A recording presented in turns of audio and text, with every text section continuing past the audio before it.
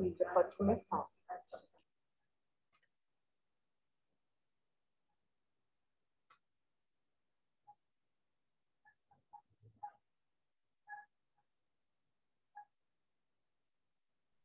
Ok, ainda tem 29 pessoas só. Esperar mais um minuto para dar 6 e 5, 16 e 5.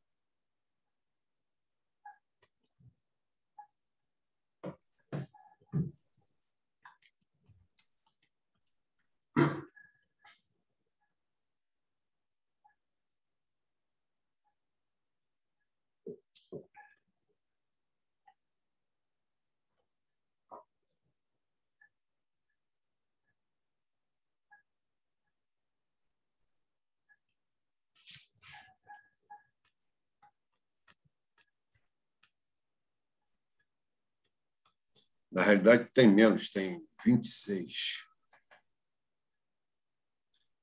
28 agora. Como a gente começa depois do, do curso, que termina exatamente às 16, temos um problema.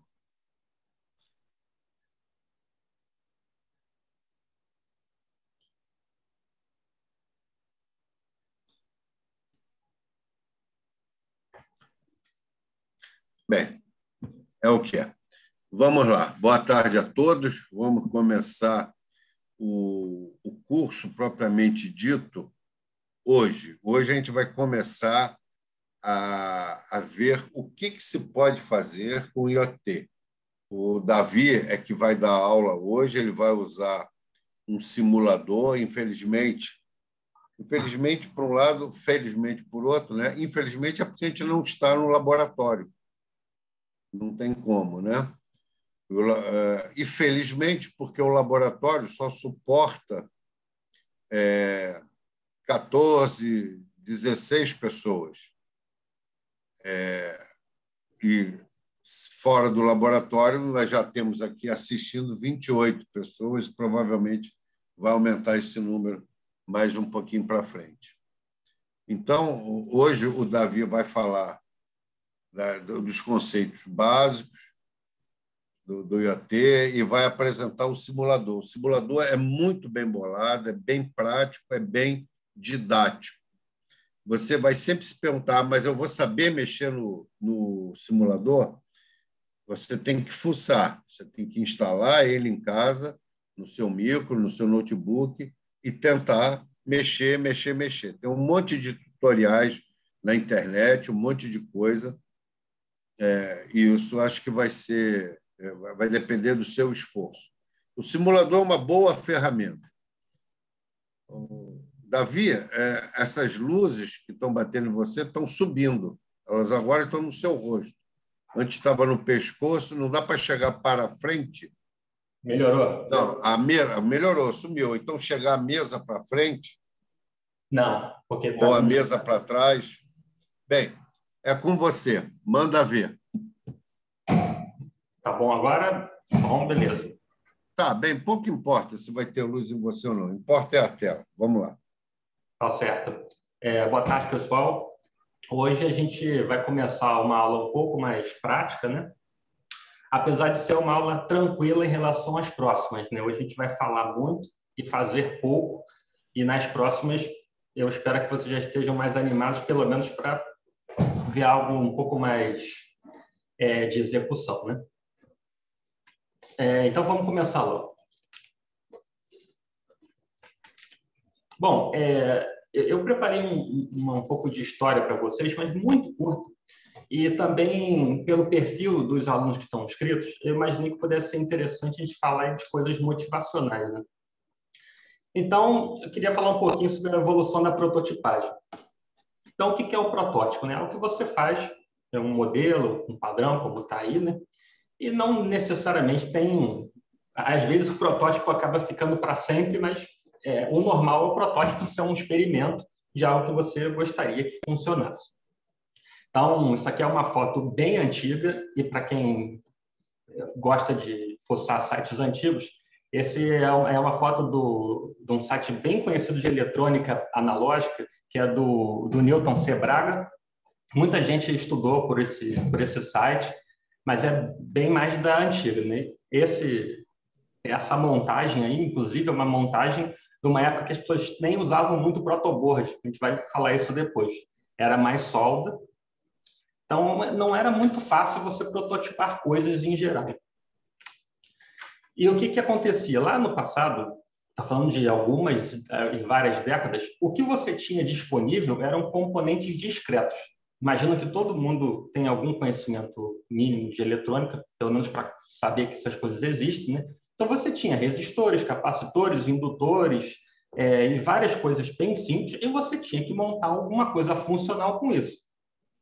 É, eu coloquei ali um circuito integrado, que é o último de baixo, que já é uma coisa um pouco moderna é, nessa época de, de prototipação. Só que o que acontece? Vou usar um exemplo aqui para vocês.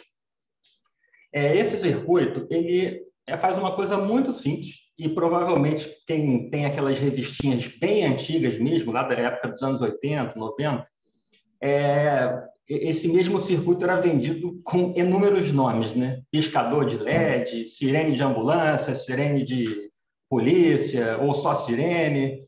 Mas eu não quero que vocês entendam o que, que esse circuito faz, mas fica claro que você não puxa isso da cabeça rapidinho e escreve ali no canto. Você tem já transistores, o fio passa de um lado para o outro, tem uns capacitores ali. Então, para apenas piscar dois LEDs, alguém teve que ter uma ideia razoavelmente complicada. E lembra, eu só estou piscando LED. Isso aí, esse print é o momento que o LED da direita está acendendo. Se você colocasse para rodar, ele ficaria alternando com esse outro LED que está preto, que está apagado. É, eu coloquei até a referência, né? É, é, essa dupla de, de, de, caras aqui, né? o Abraham e o Bloch, eles inventaram esse multivibrador em 1919. E quem está achando estranho a imagem né, com a data tem toda a razão. É, não tinha transistor nessa idade. Então, o, o circuito que ele inventou esse multivibrador, né, usava válvulas, que é o avô do transistor, né? Esse já é um circuito um pouco mais moderno, mas ele funciona e as pessoas usam até hoje. Então, para você configurar o tempo que os LEDs piscam, você tem que trocar esses componentes aqui, ó, esses dois capacitores e esses dois resistores que estão indicados na imagem. E você ainda faz uma conta, 2 RC LN de 2, isso se os R's forem iguais e os seis foram iguais. Ah, mas eu quero piscar diferente. Arranca os componentes, coloca outra coisa. Então, era uma época em que você tinha algum trabalho para fazer coisas muito simples. Até que, em algum momento, começaram a, a ter essa ideia que é genial, que as pessoas perceberam que você usava mais ou menos os mesmos blocos de, de circuito para fazer sempre a mesma coisa. Claro, é, é, são os mesmos blocos, mas são milhares e milhares de mesmos blocos, né? Então, alguém inventou o conceito de circuito integrado, que é um circuito razoavelmente complexo, se você observar essa imagem de baixo, é, ela já é bem mais complexa do que o nosso piscador de LED, né, que eu mostrei na, no slide anterior. Isso tudo está ali dentro, que está indicado, né, esse NS555, que é considerado por muitos o, o chip mais fabricado de todos os tempos. É, eu não sei de cabeça aqui o número, mas ele é o mais famoso, tem um milhão de projetos com esse 555. Então, quando introduziram o circuito integrado, veja, imagina que você tivesse que, para fazer um, uma coisa qualquer, você não tem que estar tá aí embaixo. Você tem que primeiro fazer isso para só depois fazer o que você realmente quer. Enquanto que se você sabe que esse circuito resolve parte do seu problema, você compra ele e, e começa a partir daí. Então, isso facilitou dezenas de coisas. É, primeiro que, como você não tem as conexões do, dos componentes, a fabricação é micro.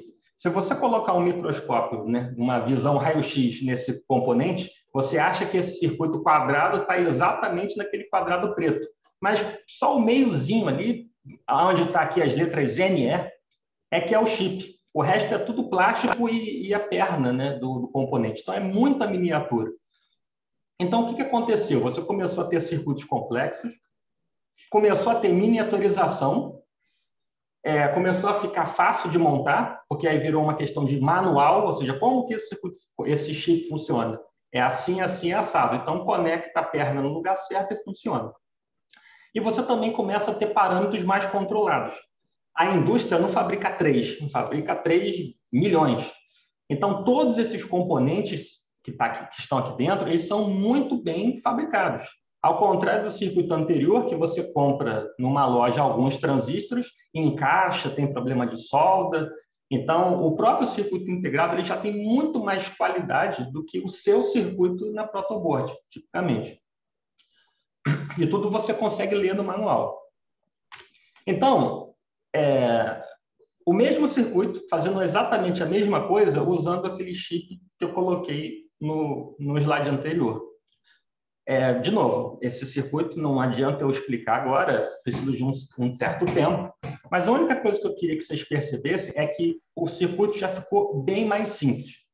Essa parte da direita, você ignora um pouco né, do, do circuito, porque é o seu LED, né, a lâmpada que você quer ligar, e o resistor que é obrigado, que é o que tinha no, no anterior. Não tem muito jeito. Você quer piscar o LED, você precisa do LED. Mas a parte da direita, por exemplo, você não tem mais os transistores e você já diminui pela metade o número de capacitor envolvido e esses dois resistores ficam muito mais fáceis de você calcular o tempo. Apesar de ainda ser uma equação, mas você monta esse circuito, ele é um manual, você lê rapidinho, você monta esse cara. É, eu, eu, um parênteses, né, o 555 é considerado um dos circuitos também mais versáteis. As pessoas fazem coisas de piscar LED até fonte simétrica com esse 555. É, fica uma curiosidade. Mas, enfim, a, o, o problema anterior continua. Ah, eu queria o LED piscando mais rápido ou mais devagar. Arranca o componente, coloca outro no lugar. Então, a facilitou para um lado e atrapalhou pelo outro. Né? Aliás, não melhorou um outro. E aí, o que, que aconteceu? Você tem o, o que, o, qual é o efeito do circuito integrado? Imagina que cada bloquinho desse de várias pernas é um circuito gigante. Provavelmente, o menor quadradinho desses pretos já ocuparia todo esse verde se você tentasse fazer uma placa. Então, imagina, isso aqui deve dar uma mesa de circuito né, se você fosse tentar fazer. Então, você tem mais miniaturização e coisas mais complexas sendo feitas. Isso é um avanço. Mas aí chegou um, um, um avanço realmente importante, que é, foi a entrada dos microprocessadores no, no mercado. Né? Esse é considerado por muitos é, nas referências como o primeiro microprocessador da história, o Intel 4040. É, essas duas fotos da direita é, é o circuito que tem dentro dele, né? Então, a, a, imagem de baixo é o circuito como um todo, e eu tirei um pequeno zoom aqui nessa parte azul, onde está o 4004, é o que, que tem no circuito. Então, você vê que é realmente muito miniaturizado e tem uma quantidade enorme de transistores, né? 2.300 transistores. É, hoje em dia, né, já, já há muito tempo, se conta o poder computacional e, e miniaturização pelo número de transistores que uma máquina tem, uma GPU, coisas desse tipo. E 2.300 é um número cavalar para um ser humano. Só que, se você observar como é que está a história hoje, em 2020, o esperado é que os microprocessadores tenham na faixa de 50 bilhões de é, transistores. É, eu não sei quanto a vocês, mas eu não tenho muita facilidade de mensurar o que, que são 50 bilhões de transistores. Você já perdeu até a referência.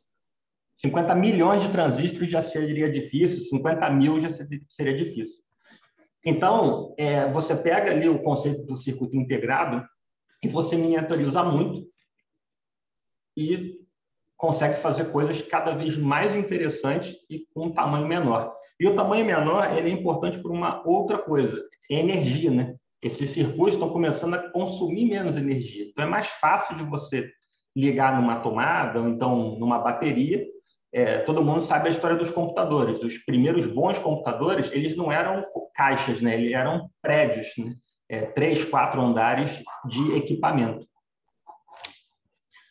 Então, uma, uma não chega a ser uma evolução, porque eles mais ou menos nascem juntos, é o conceito do microcontrolador.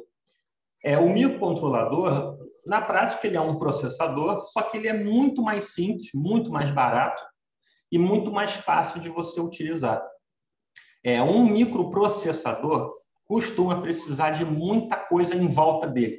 Um pouco a analogia da placa-mãe, né? Você não pega um microprocessador e enfia no seu HD. Você tem que ter uma placa-mãe e depois colocar o processador nele. Já o microcontrolador, tipicamente você usa ele sozinho, do jeito que você está vendo aí. Claro, bota a energia, é, às vezes pouquíssimos componentes internos e alguns não usam nenhum, desculpa, componentes externos e alguns nem usam componentes externos e você já consegue operar ele é, de forma fácil.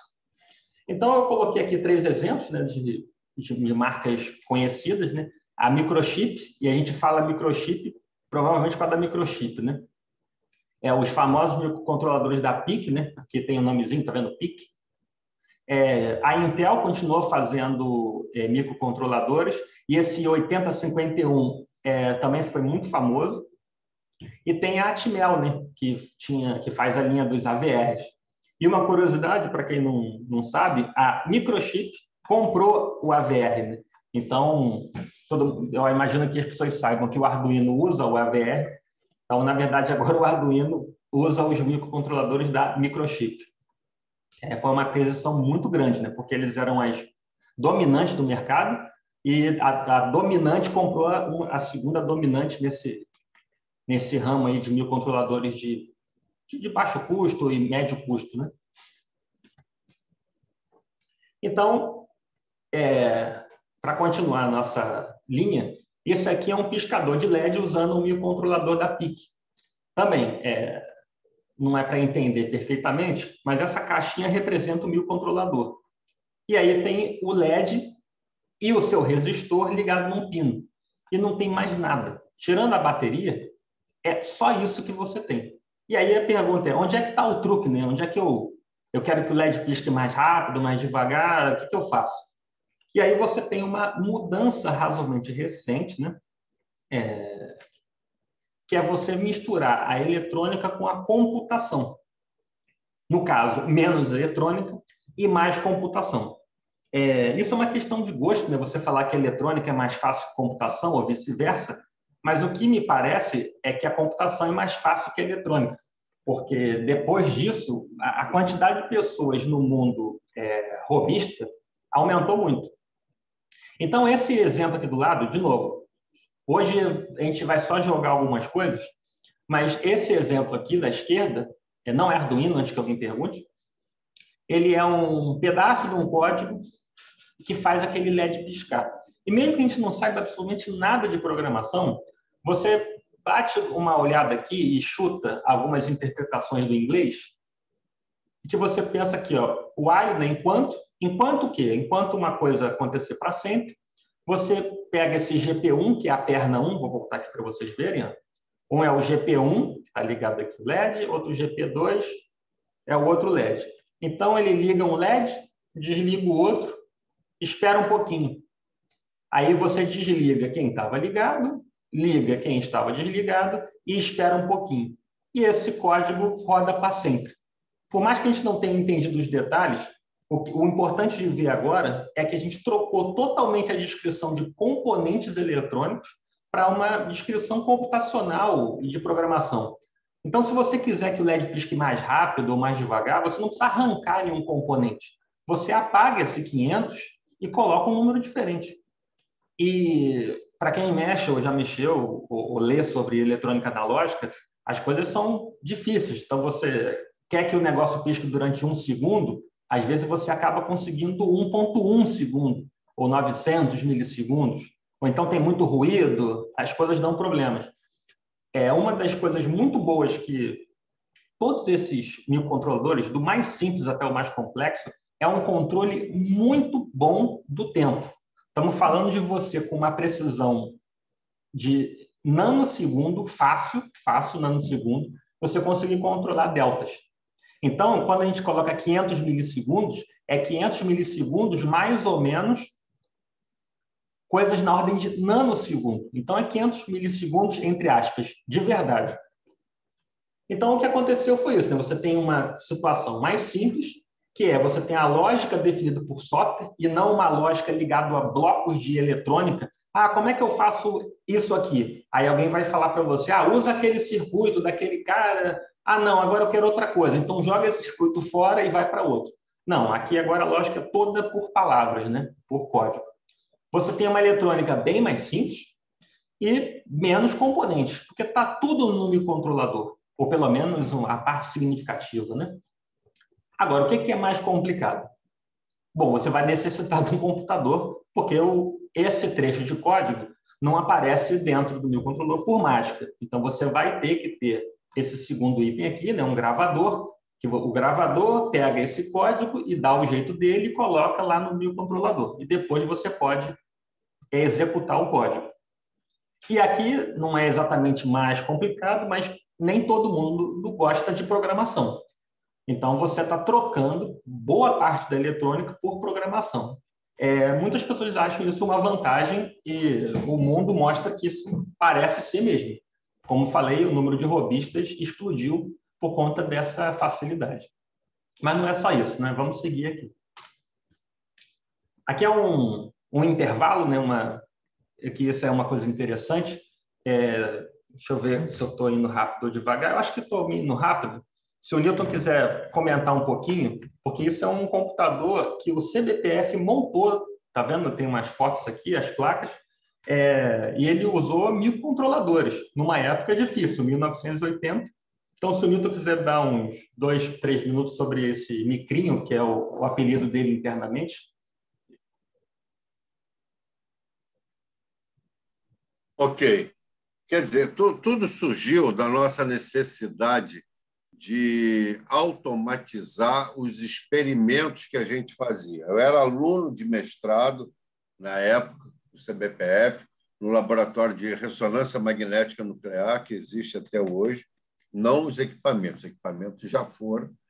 É, e o orientador o professor Alberto Passos Guimarães e a gente fazia uma coisa repetida, toda medida é, significava repetidas vezes as mesmas coisas. A gente mudava a frequência, a gente regulava a sintonia de, um, de, um, de uma bobina, é, entendeu? E media o sinal. A gente fazia isso mil vezes por dia, e no final tinha um gráfico e tudo mais. E os outros laboratórios, o de resistividade, magnetometria, é, de EPR, ressonância paramagnética eletrônica, efeito Mossbauer, é, os vários laboratórios que existiam no CBPF, muitos deles ainda existem, atualizados, é claro, é, sentiam a mesma coisa. Quer dizer, os alunos sofriam, a gente ficava com o dedo no final do dia detonado. E tudo era anotado na mão, num caderno. E aí a ideia era ter um sistema que fizesse essa varredura para a gente, entendeu? O mais automatizado possível. A única coisa que a gente não conseguia automatizar era a sintonia do circuito LC, era, no fundo, a bobina, que a gente tinha que, que, que mexer. Isso não teve jeito, se tentou botar motor de passe e tudo mais, mas nada ficava bem mas eu já não precisava anotar, eu já não usava mais o, o lápis. Então, isso eram uns dispositivos que ficavam, uns sistemas que ficavam dentro do equipamento, então era uma caixa desse tamanho, mais ou menos, assim. E aí, com isso, veio a ideia de se ter um micro que fizesse isso. O que estaria nessa caixa seria uma dessas placas aí que a gente está vendo. Então, a gente lançou esse micro, eu não participei da criação disso, mas a gente ainda tem pessoas que participaram trabalhando no CBPF, o vice-diretor participou disso, que é o, o Márcio, o irmão dele, o Marcelo, é, e o Geraldo, é, que montaram, que bolaram esse tipo de coisa, e outras pessoas que já saíram do CBPF. E deram o nome de Macunaíma. Esse já é o 2, teve a versão anterior. E aí a gente passava a fazer a medida utilizando esse, esse micrinho, como a gente falava. E isso foi revolucionário lá naquela época. Isso aí eu estou falando de 1980 e pouquinhos. 82, 83, 84, 85. E a gente fez um é, e fizemos vários. Todos os laboratórios tinham esse cara. E cada laboratório tinha a sua placa que controlava uh, os experimentos. Isso é uma, uma relíquia, uma história é, fantástica, mostrando que o CBPF é pioneiro nessa história também. Isso não tinha micro aqui, não, não existia micro. Nessa época ainda não tinha. Eu me lembro que o primeiro micro que se comprou era da marca, se eu não me engano, Cobra, eh, ou uma coisa assim, se colocou dentro de uma sala.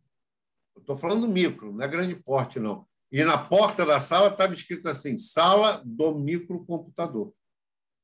Quer dizer, era um negócio ilustre, tinha que reservar o horário para usar o microcomputador e tudo mais. Bons tempos. É, esse computador usava o, um, um, micro, um microcontrolador muito conhecido na época, que era o Z80, né? Zilog, Zilog 80 era compatível com outros microcontroladores na época, mas ele fez muito sucesso. Tem videogame que usa esse microcontrolador. Você pode dar uma pesquisadinha, é, vale a pena. Bom, então, é, nós já chegamos ali na época do microcontrolador, mas o que a gente mesmo, vamos voltar, o que a gente quer é fazer protótipos e projetos.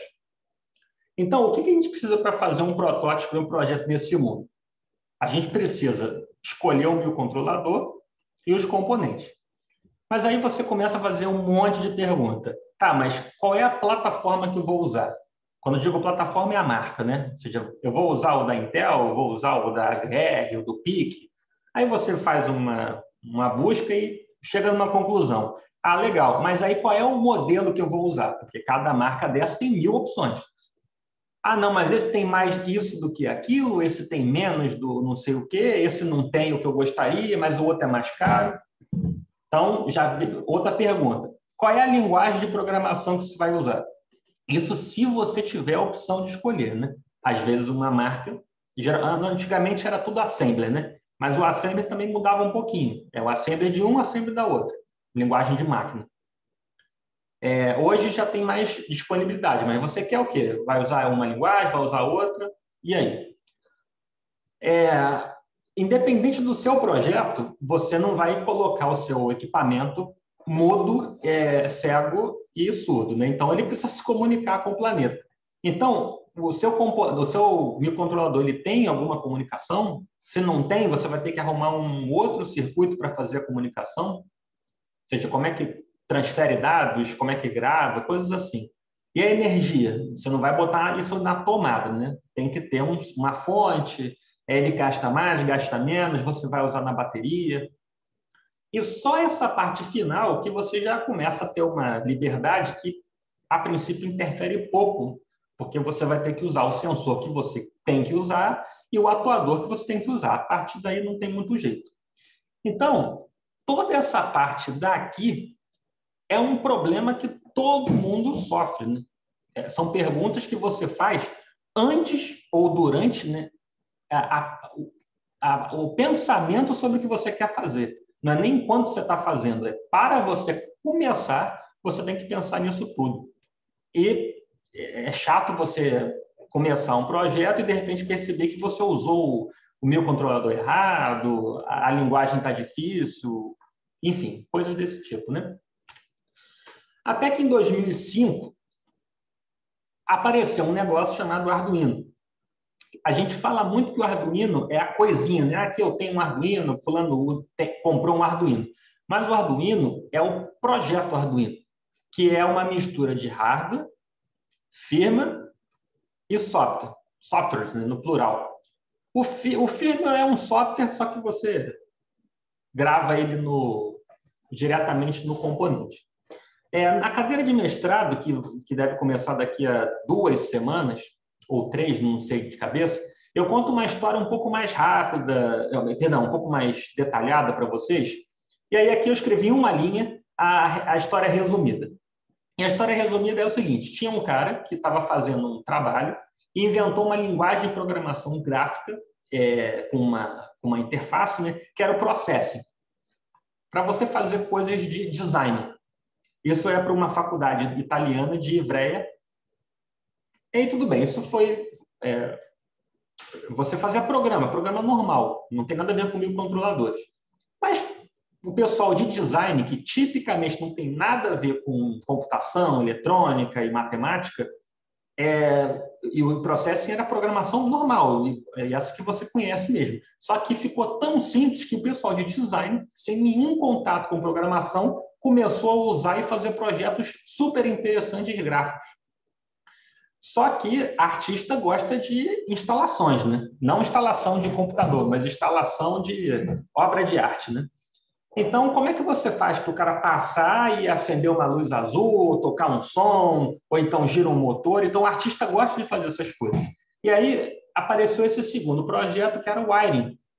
O Wiring, ele pegou o Processing, todo o programa Processing, montou uma espécie de Arduino na placa, né? criou uma placa geral, é, tentando atender mais ou menos todo mundo, usou a mesma interface do processo e aí o pessoal de design ficou doido, né? Porque o pessoal podia fazer todas aquelas coisas de arte com pouquíssimo conhecimento de programação e eletrônica, contanto que você usasse as coisas que estavam ali prontas para todo mundo, né? E aí entrou essa frase aparece de vez em quando como brincadeira, né? Tudo caro, né? O Iron na época era 50 dólares a plaquinha, era considerado uma placa muito cara. E tinha uma outra placa que era o baseado em Basic, eu acho que é do Basic Stamp, me falhou a memória agora, que também era caro. Então você tem essa linha aqui, e aí vem o pessoal lá do Arduino, que não era Arduino na época, e pensou o seguinte: olha, eu quero um projeto didático e barato para disponibilizar. Então o Arduino ele nasceu com essas duas ideias tem que ser uma placa barata. Não adianta ser uma placa de 50 dólares. E também não adianta ser uma linguagem de programação complicada que as pessoas têm que aprender a programar. Não é para aprender a programar, é para fazer. Claro, se você complica, você vai ter que aprender um pouco. Mas é, era muito comum as pessoas quererem piscar LEDs, ligações, é, testar sensores. Então, o Arduino nasce com essa ideia. Então, eu vou falar um pouquinho de cada parte do projeto Arduino, é, para vocês entenderem por que, que foi importante. Primeiro que você tem a parte do hardware, ou seja, o Arduino ele é uma placa. Esse cara pequenininho aqui é o meu controlador. Mas todo o resto, o, o pessoal inventou. E lembra, o Arduino nasceu do pessoal de design, né? Então, o pessoal de design é bom para essas coisas. Então, tudo que você está vendo, alguém pensou que poderia ser algo útil para uma média, para todo mundo. Então, falando mais ou menos rápido, você já tem a comunicação, essa cinza aqui de cima, grandona, é USB visto de cima. Você já podia alimentar com uma, com uma bateria de 9 volts ou com uma fonte, tipo dessa de celular. É... Aqui escondido no Arduino, você tem uma forma de gravar o, o, o seu programa aqui dentro, a gente vai ver depois.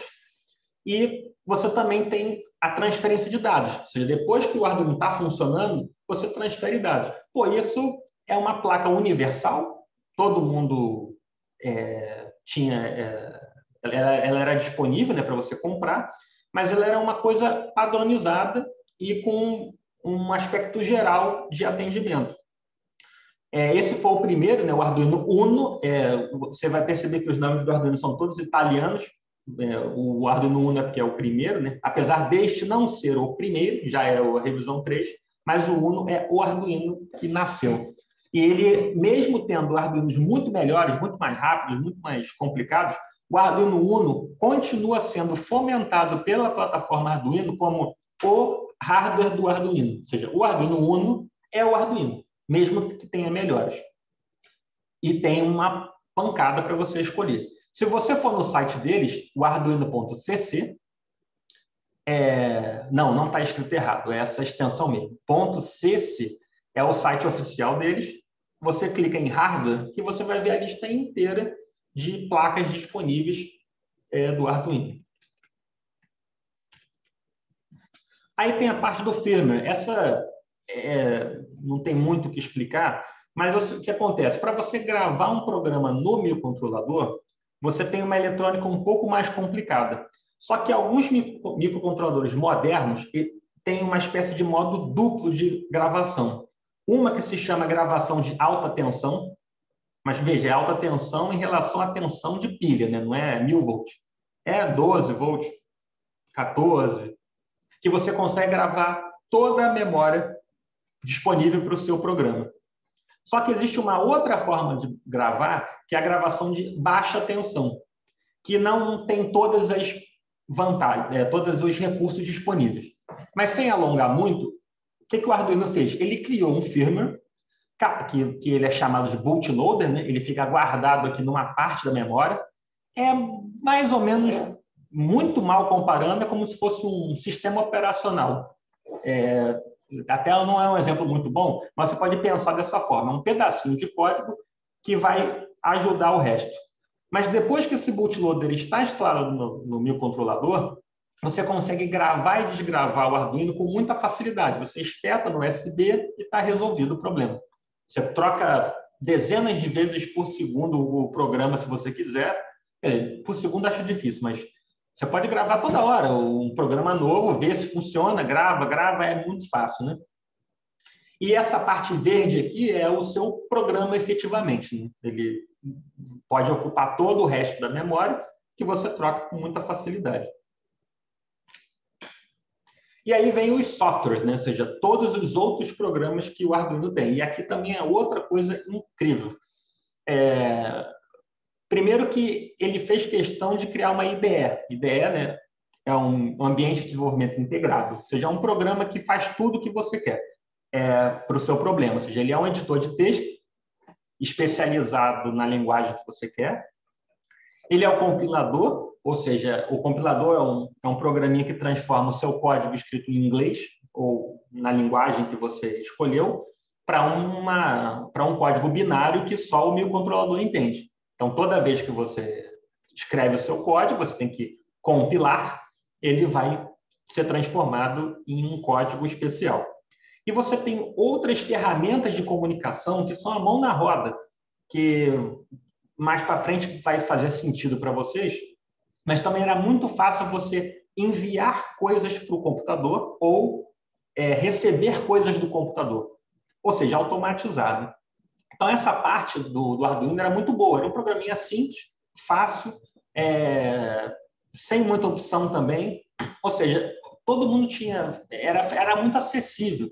Não era aqueles programas complicados que você pode configurar tudo. É ligou, é, disse qual é o microcontrolador que você está usando, ou seja, qual é o Arduino que você está usando, e já pode gravar. É direto ao ponto. E a outra parte que eu acho que aqui é o coração do, do Arduino, né? É a biblioteca. Para quem não está acostumado com o termo, biblioteca é um, é um conjunto de programas que servem para fazer programas. Explicando um pouco melhor, você hoje em dia você não começa a programar do zero. Você já baixa coisas prontas. Por exemplo, você quer fazer um, um, um método matemático, você não pega lá o seu livro de cálculo, de métodos numéricos, e escreve o seu método matemático. Você vai num site, baixa esse método matemático, encaixa na sua linguagem de programação e só aprende a usar ela. Então, isso são as bibliotecas. Você pode baixar várias coisas para facilitar o seu, o seu código. E o Arduino criou uma biblioteca é, muito boa nesse aspecto. Então, ela é uma, principalmente, ela é uma camada de abstração do hardware, ou seja, é, você, quando você olha para o código do Arduino, você tem uma sensação que você está falando muito mais de lógica do que de eletrônica. Então, você fala em ligar, desligar, configurar, você não fala em 5 volts, 1 volt e meio, resistências, é, ficou muito mais com cara de lógica. E uma outra coisa que é fundamental, e isso é impressionante, é a unificação entre as placas diferentes.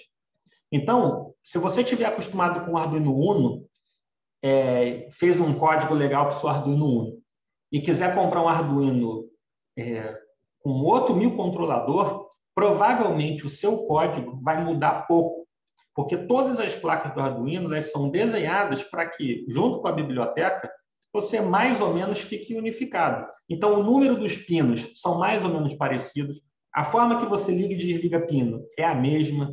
É... Claro, fazendo um parênteses aqui, isso tem uma certa simplificação. Né? Se você começar a querer tirar leite de pedra, chegar no limite, também você está saindo um pouco do uso do Arduino. O Arduino não é para você também fazer uma computação de extremo alto nível. Se você chegar num ponto que você precisa, como o Newton gosta de brincar, escovar bit, então você já está também saindo um pouco do escopo do Arduino. Mas mesmo que você queira escovar um pouquinho de bit, dá para dar uma, dá para tirar bastante leite de, de pedra do, do Arduino. Bom, esse aqui é o Arduino IDE, né? É, esse é o Arduino que você instala na sua máquina. É, ele é simples de instalar e usar e também é o mais usado. Você vai perceber que as pessoas usam o Arduino IDE mesmo, mesmo ele não tendo recursos complicados de, de edição de texto e ferramentas de programação. É, e ele tem coisas interessantes. Uma que tem um repositório de plugins. Vou dar um exemplo rápido. Imagina que você comprou um display, um display qualquer, e aí você procura na internet. Será que alguém já programou uma biblioteca que facilita eu, eu me comunicar com esse display? Ou eu vou ter que pegar o datasheet, ou seja, a folha de dados, e descobrir como que eu me comunico com esse display. Não precisa. A comunidade do Arduino é gigantesca. Então, você vai na internet e vê Arduino, é, o meu display número tal, biblioteca. Aí você vai descobrir que alguém já fez uma biblioteca que, com comandos simples, você consegue vai mandar seus textos para o LCD. Só que, em vez de você precisar baixar um zip, fazer o download, a própria, o próprio IDE do Arduino já controla o repositório de plugin. Então, você vem aqui no, no, no Ferramentas ou no Sketch e você procura o plugin, ele acha e você clica em instalar. Acabou. Ele vai baixar, vai instalar, pronto. Fechou a janela, voltou para o seu editor de texto, você já pode usar o, a biblioteca. E, e, aí você faz os seus encaixes. Né? E uma outra coisa que aconteceu curiosa é que, por mais que esse, esse IDE seja muito simples, é, mesmo os projetos não arduinos passaram a utilizar essa biblioteca, essa IDE.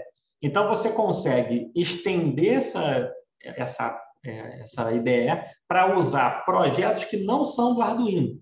É, para quem já conhece, tipicamente o pessoal usa o ESP32, é o ESP8266 e o STM32, é, que estão por aí e são fáceis de comprar. Ou seja, mesmo tendo outras opções, as pessoas usam o Arduino IDE. E aí você acaba tendo uma interface que você programa muitas coisas diferentes desse mundo né, de microcontroladores. É... Então, isso aqui é um resuminho para vocês das ferramentas de desenvolvimento que você tem por aí. Se você tiver um Arduino físico, ou seja, você tem uma plaquinha na sua mão, você comprou, o que, que você pode usar? Você vai, pode usar o Arduino IDE, e é o que eu recomendo, é o que vai funcionar. E o Arduino tem um negócio estranho, que é o Arduino Web Editor. Ou seja, é o Arduino IDE, só que ele roda diretamente do navegador. Muitas pessoas gostam de nuvem. Eu não gosto, eu acho mais lento. É, você tem que criar conta, o, o, os seus programas ficam na nuvem. É, mas, para mim, o principal é que ele é um pouco mais lento. E, e, claro, depende de internet permanente, né? Acabou a internet, você não consegue mais compilar seu código. Recentemente, teve um projeto que não era do Arduino, que começou como Arduino é, IDE Pro, de Professional, né? Muita gente achou que ia ser até paga, mas não, era só porque era o Arduino IDE com recursos profissionais, né? umas coisinhas a mais. E foi incorporado no projeto Arduino. Quando você for no site do Arduino, você vai perceber que ele já te induz a instalar o 2.0, mesmo sendo beta. É, eu não uso, instalei, é, não gostei, é, falta alguns recursos que eu acho interessante, é, mas eu imagino que daqui a poucos anos ele vai atropelar o Arduino IDE, até porque os recursos que eu sinto falta já estão nas listas de reclamação, as pessoas já sabem que o, o recurso está faltando, e o que vai acontecer é que daqui a pouco vai ser o 2.0 mesmo. Agora, se você for muito diferentão né, e, e insistir em sair desse mundo, é, aí você dá uma caçada por aí e existem outras ideias que não são do Arduino, mas que você acha um plugin que ela passa a gravar no Arduino. Né? Só que tudo isso é se você tiver um computador físico em mãos, que não é o nosso caso agora. Nós é, não temos, não estamos disponíveis aqui no laboratório, né? Não vai ser muito prático a gente usar um Arduino aqui na mesa. E é o que sobra você usar simuladores. Lembrando que existe uma diferença, né? Simulador não é emulador, né? O propósito de um emulador, é a palavra emular, é imitar de maneira perfeita. E o simulador, ele imita as principais características. O ideal é todo simulador nasce sonha, né, sendo de ser um emulador, né? Mas isso é só para deixar claro que existem imperfeições, né? Você está só simulando um Arduino e a eletrônica e, e, o mundo de ruídos do planeta, então você vai ter certos problemas. É, quando a gente começou a dar a cadeira e, do mestrado, a gente deu azar, né, de ela bater com a pandemia. Então a primeira cadeira ela já nasceu tendo que ser é, redesenhada e fizemos uma pesquisa é, testamos algumas coisas, e até que nós chegamos no Tinkercad.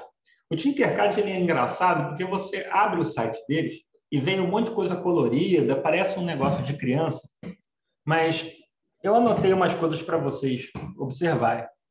Ele tem uma excelente simulação. É, do, dos, dos que eu testei, a simulação era muito boa, mas era muito boa mesmo. Eu tentei espremer o, o simulador ao máximo, tentei colocar umas situações que eu sabia que poderia dar problema, e ele respondeu muito bem. Então, até certo ponto, você pode usar tranquilamente. Só que também o Arduino sozinho, você vai fazer o que com ele? Né? Vai, vai deixar ele parado? Não. Então, ele também tem uma ótima seleção de componentes externos. LEDs, motores, é, vários tipos de LEDs, tem até sensor de gás, ultrassom, tem um monte de coisa. Isso aqui não é necessariamente uma vantagem, eu preferia que fosse instalado, mas você não precisa de instalação nenhuma. Você bota no seu navegador é, e ele funciona todinho no, no navegador. Uma coisa que eu acho extremamente curioso é ser grátis, porque para quem conhece, não sei se o nome veio, né? Autodesk, o, o software mais conhecido da Autodesk é o Autodesk AutoCAD, que é uma autofortuna, né? É um, é, um, é um software bem caro e, curiosamente, o Tinkercad é grátis. E é grátis mesmo, ele não tenta é, te atormentar, é um grátis bem, bem tranquilo mesmo. A interface é boa. Isso daqui é a, é, é a possibilidade de programação por blocos. Eu acho que eu comi aqui sem querer, não é vi, né? é de visual. Então, você, em vez de programar isso é uma opção, não é obrigado a ser assim. Em vez de você programar usando o código, você usa mouse, ou seja, arrasta e arrasta bloquinhos igual um quebra-cabeça e funciona. Eu achei interessante aqui porque nós temos no nosso curso uma seleção de alunos de licenciatura, né? Então é uma ferramenta didática, principalmente para o pessoal mais jovem que talvez saiba pouco inglês ou nada de inglês e menos ainda de digitar código, né, fica uma coisa talvez inacessível. E, e não é à toa, né? Tem crianças de 8 anos que, que usam Arduino.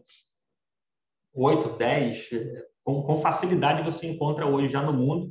E para quem está de olho é, nas propagandas, o que mais tem agora é bote o seu filho numa escola de programação. E, e uma delas é usar essa programação por bloco. Então, é, vamos dar uma rápida paradinha aqui para eu mostrar para vocês o site do Tinkercad.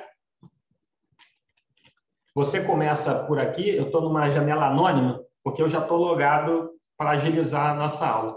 Você vai bater nessa tela aqui, né? E você vai ter que se inscrever. Não tem jeito, é uma conta. E aí você segue do jeito que você quiser aqui. Contanto que você memorize o que você está fazendo, porque ele te dá várias opções, né? É, quer ver? Aqui, criar uma conta pessoal. Aí você pode entrar por Google, Apple, e-mail, mas memoriza, porque você às vezes escreve por Google e, e depois esquece que entrou pelo Google. Aí você bota o teu e-mail por Google, ele não vai te encontrar. Porque uma coisa é entrar usando a conta do Google é, direto e outra é usar o e-mail que por acaso pode ser do Google. Então só memoriza aqui para você não se enrolar depois.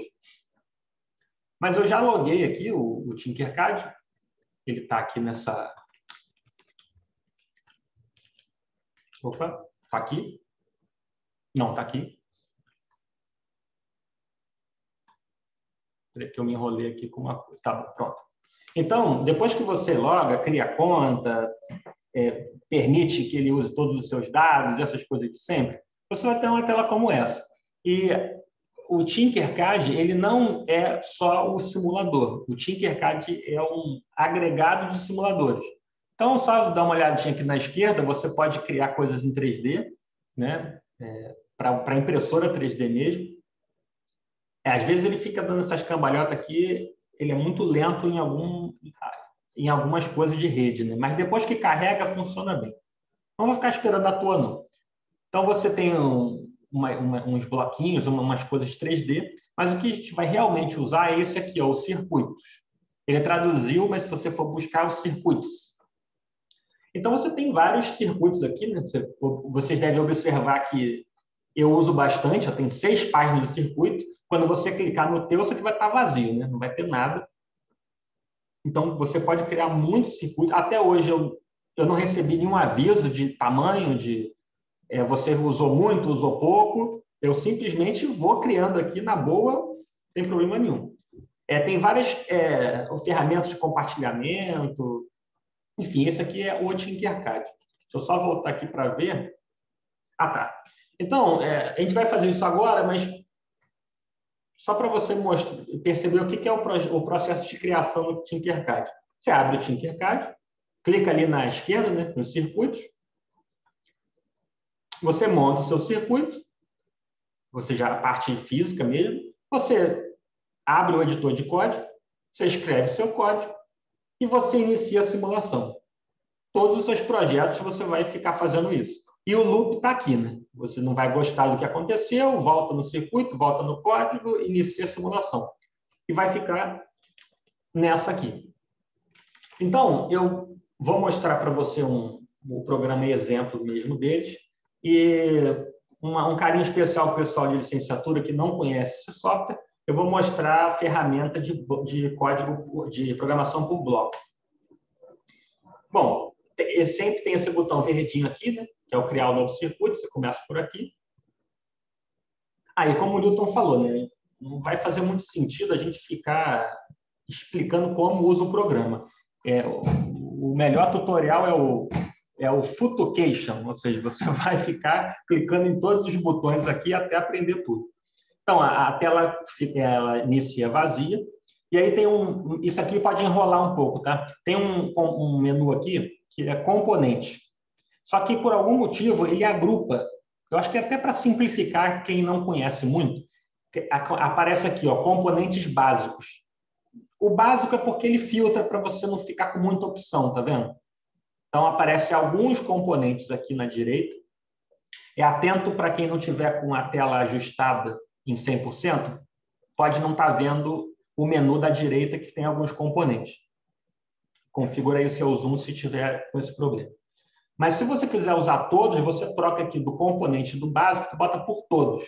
Então aí você tem uma seleção ó, bem espaçada, tá vendo, de componentes. Tem até osciloscópio, tem fonte, tem alguns circuitos integrados, caso você queira brincar um pouquinho com eletrônica analógica. Tem transistor, tem, tem um monte de coisa, né? Mas a primeira coisa que a gente vai puxar mesmo para a gente é o Arduino. Tá vendo? Tem um Arduino aqui. Você clica uma vez, puxa para cá, e ele é todo engraçadinho, ele mostra até o cabo USB aqui, tá vendo? Então, você tem o, o seu Arduino na tela. É... Você usa aqui a rodinha para dar zoom. E todas os, os, os, as coisas você passa assim por cima, tá vendo? Você sabe aonde é conectável, tá vendo? Tem aqui um aqui, é conectável. Isso aqui a gente vai ver depois não precisa preocupar muito, não. Esses caras aqui são os LEDs que o Arduino tem. só para você não ficar perdido e achar que eu estou te atropelando. Hoje é uma aula um pouco mais expositiva para a gente ficar tocando nesses assuntos. A partir de amanhã, a gente vai falar do hardware em si. Então, se você está achando que eu estou falando coisas que você nunca ouviu na vida, fica tranquilo que amanhã a gente vai entrar em detalhes. Hoje não é interessante. É... Mas assim, você pode, tá vendo? Você clica uma vez, ó, você, você pode puxar os fios, ó, se você clicar de novo, ele começa a fazer curva. E o, a clicada final, ele conecta, tá vendo? Depois, se você quiser ajustar, você, você puxa. Ele tem uns, umas ajudas para o seu fio ficar reto, tá vendo? Ele, ele centraliza para você. Mas, enfim, isso é o, é a interface. Vocês não vão ter dificuldade se vocês usarem o método Futucation para descobrir o que, que faz. Quando você clica aqui no, no Arduino, aliás, não precisa nem clicar. Tá vendo que tem um botão aqui do lado do iniciar a simulação? Tem o código. Quando você clica no código, ele realmente abre uma tela de código para você. E aí eu vou começar, opa, vou começar falando da tal da programação visual. É, não tem código nenhum aqui no sentido de programação bruta. Ele simplifica muito o processo e você entende o que está acontecendo. A ideia desse código que você está vendo é, é, é, você que tem um algoritmo. O que é um algoritmo? Para quem nunca ouviu essa palavra ou não sabe a definição específica. Algoritmo é uma sequência de passos definidas né, que resolve um problema. Mas, de forma geral, é, você pode pensar que é uma sequência de passos. Ou seja, o, o, o passo 2 vem depois do 1 um, e assim por diante. Então, você pode desmembrar, tá vendo? Esses, esses blocos de, de montagem e sempre o mais de cima desencaixa. Né? Então, se você puxar esse aqui, ó, ele desencaixa a partir daqui. Ele faz até um barulhinho. É, eu não estou compartilhando meu som para não dar eco, mas ele faz até um ploc, ploc, para você perceber que está acontecendo. Então, se você ler aqui esse código, a primeira coisa que ele faz é definir o LED incorporado como alto. E aí tem um negócio aqui, tá vendo? Alto ou baixo. Alto é ligado, baixo é desligado. Aí depois ele fala, aguarda um segundo, mas se você quiser definir milissegundo, é só marcar aqui, tá vendo? Depois você define como baixo, ou seja, desliga o LED, e depois você, de novo, aguarda um segundo. Não sei se vocês perceberam, mas ele de grátis, brinde, é, é, já vem para já vem de, no pacote exatamente aquele LED flasher que a gente viu é, no nosso slide. Né? Então, para ver isso funcionando, a gente tem que colocar aqui iniciar a simulação. É, esse LED incorporado é porque isso faz parte do projeto Arduino. Para você ter uma placa Arduino, você tem que ter um LED interno, que é esse daqui, ó. Está escrito Lzinho. Esse LED, você consegue controlar ele. Então, quando eu iniciar aqui a minha simulação, vou botar primeiro o Arduino no meio,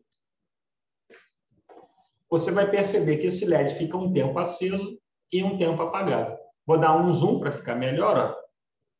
Ele faz exatamente o que a gente imaginou que faria existe esse tempo aqui, ó, hora do simulador, tá vendo?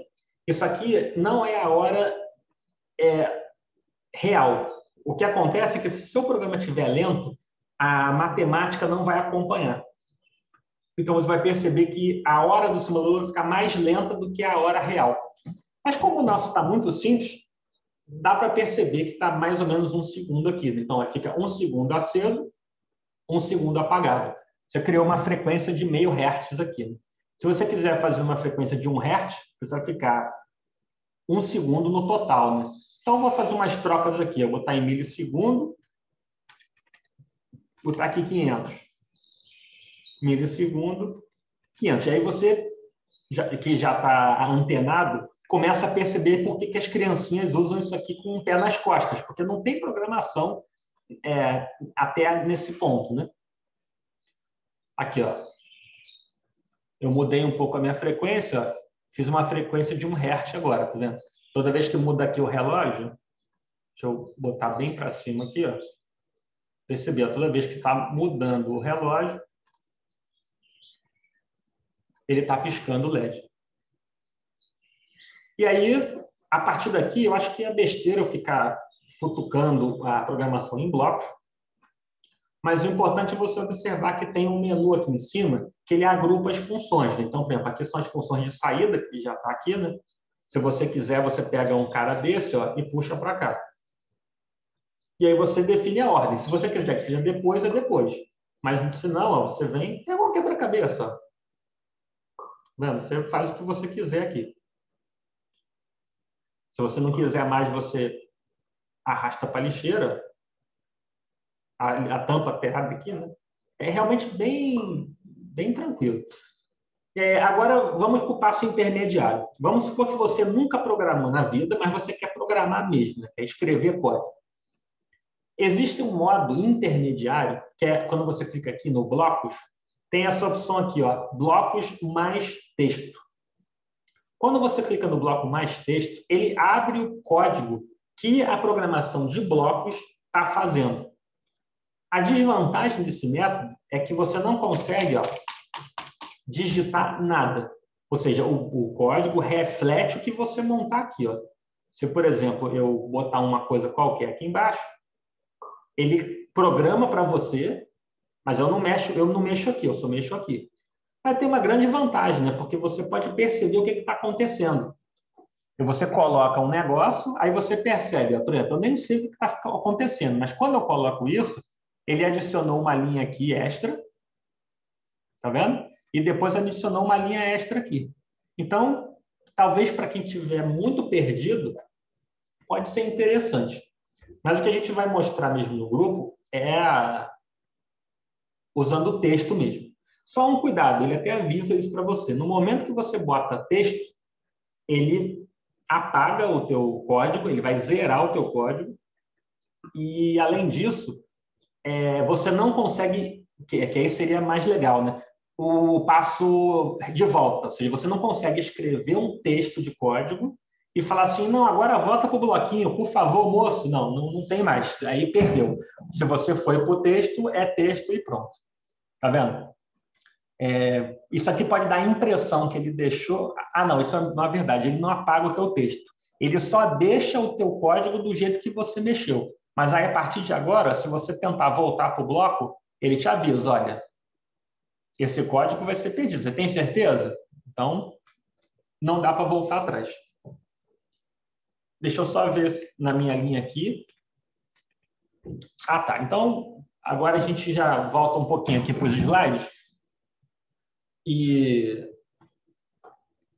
de novo, hoje o objetivo não é aprender os detalhes da linguagem, é só entender o que está acontecendo.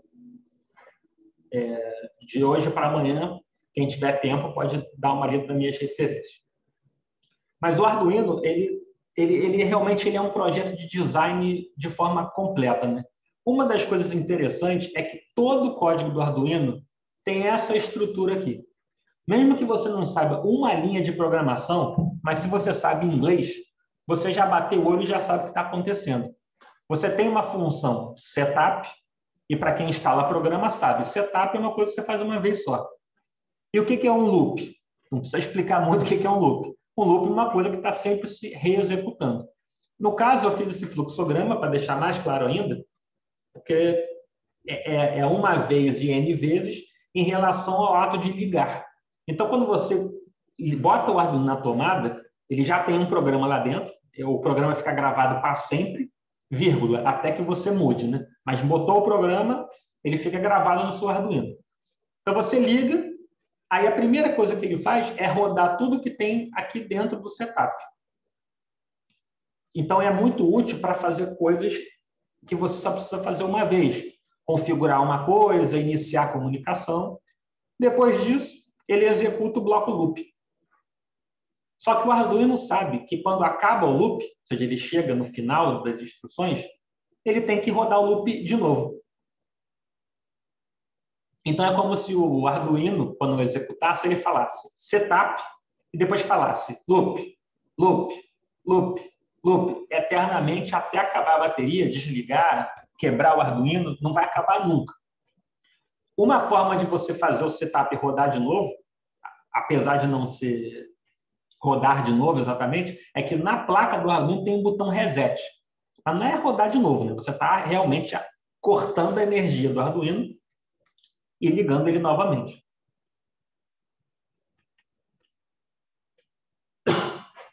E aí, isso aqui é só para. Uh, Davi? Oi. Oi. Surgiu uma pergunta aqui, o Eduardo está perguntando se é possível criar blocos personalizados, ainda em relação àquele modo anterior que você estava mostrando. Sim, o, o bloco personalizado, dependendo da pergunta, é o seguinte: o que não dá é para você escrever um código textualmente, salvar isso como um bloco personalizado e incorporar naquele editor como um. Como reutilizar. Reutilizar. Mas você pode criar funções, que é mais ou menos o que, que é exatamente o que é isso, né? Depois a gente vai usar esse linguajar, mas o setup e o loop são funções, ou seja, blocos de código que você chama, ele executa todo o conteúdo e depois retorna para o seu, pro seu programa. Então, é possível você criar funções. Desculpa, pessoal, minha garganta começou a travar aqui. Você consegue criar funções, mas você não consegue criar um bloco totalmente customizado. Mas você consegue, pelo menos, montar um bloco repetitivo.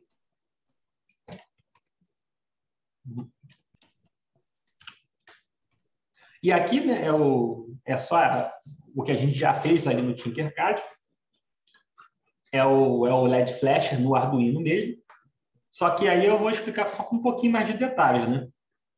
E, de novo, se você não entende nada de programação, eu te dou dois ou três palpites que você consegue pelo menos discutir comigo. Então, aqui, ó. É... Algumas coisas têm a ver com gramática, tá? Igual o português. É... Proparoxítona tem acento e você não, não tem que discutir isso. Programação é a mesma coisa, só que a programação é diferente. Quando uma pessoa fala a gente vamos, você entende e segue a vida. A gente vamos no microcontrolador, ele nem deixa você gravar. Então você tem que falar corretamente a gramática sem perdão. É uma linha errada não funciona.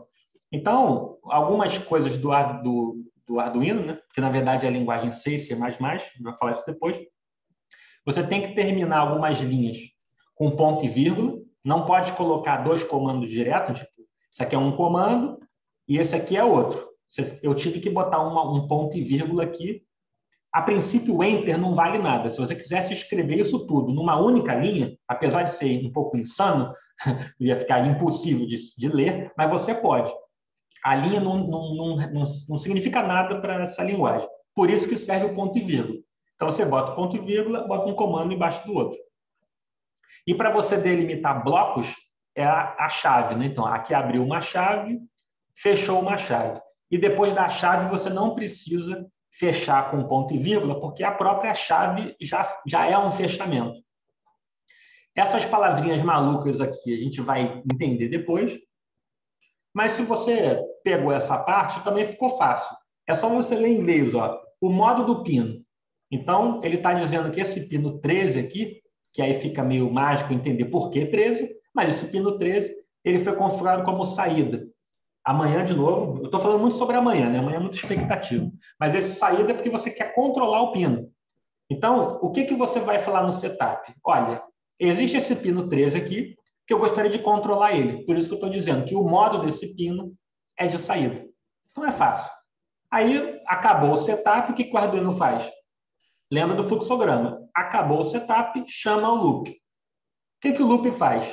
Escrita digital. Escrita digital. Ele vai pegar no 13, ou seja, esse pino que eu falei que é o modo saída, e vou botar o valor high, ou seja, alto. Se eu explicar uma vez, você já entendeu. Ou seja, você vai ligar esse pino. Ou seja, se ele não tem tensão, ele vai passar a ter tensão. E se tiver alguma coisa conectada a um pino que tem tensão, essa coisa vai passar a funcionar. Pronto. Você já entendeu. Delay, a gente não precisa nem traduzir, porque a gente às vezes fala isso. Pô, tem mó delay isso, né? Tá com muito delay, ou então a gente usa o lag, né? Mas o delay é o quê? É uma espera. Não tem unidade de medida, mas aí você tem que ler o manual das coisas. Eu já vou te adiantar. O delay, ele trabalha com milissegundo. Então, 500 milissegundos é meio segundo. Depois você vai rodar de novo aqui, tá vendo? É a mesma coisa que de cima, só que eu troquei o high para o low. Ou seja, o que estava ligado agora está no baixo, ou seja, a tensão baixa, no caso, é o zero volt da nossa placa, ou seja, desligou. E depois eu, de novo, espero mais 500 milissegundos, ou seja, meio segundo. Aí acabou a função loop. Assim que acaba a função loop, vamos chamar assim, de forma imediata, o Arduino volta para cá. Não é imediata porque na Electronics, imediato só existe na matemática, né? Então, vocês entenderam o que eu quero dizer com imediato. É muito rápido, daqui vai para cá. Então, você já entendeu. Liga o LED, espera um pouquinho, meio segundo, desliga o LED, espera o mesmo pouquinho. Então, isso é o piscador de LED. Que é aqui na, na direita, né? Você percebe que o Arduino está desligado a primeira foto e ele faz até a animação, tá vendo? Eu cortei um pouco a imagem para ficar mais bonito na tela, mas ó, o plug USB fica desconectado. Assim que você fica na simulação, ele engata aqui e está rodando. E aí aqui está o LED interno, tá vendo? Acesinho e apagado. Acesinho, apagado. E isso é o Arduino. É... Isso aqui você trabalha dessa forma durante muito tempo, muito tempo. É, isso que foi o que eu quis dizer com abstração. Você jogou fora o Arduino Uno, pegou o Arduino mais moderno do mercado. Como é que eu ligo o pino 13? Digital Write. Ah, não, mas eu quero um outro Arduino. Como é que eu ligo o pino nesse Arduino? Digital Write. Mas isso para esperar, qual é o comando? Delay. Mas o delay. Mas qual é a função? É setup.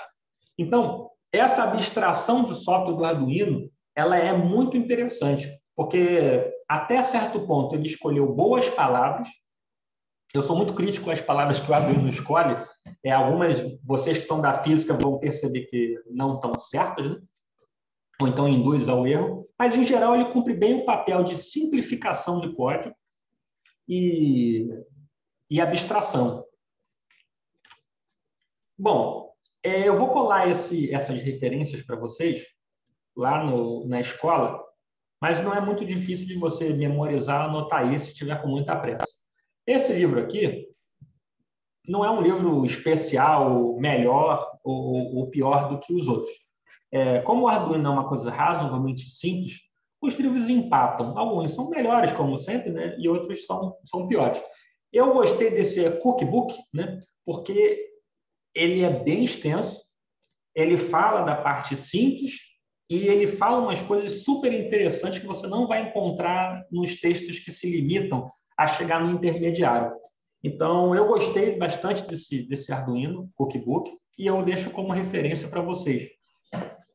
Agora, dos links oficiais, é, eu coloquei o link completo, mas todos esses links internos são do arduino.cc. E essa parte do software é, é, o que você vai fazer o download do IDS, se tiver interesse.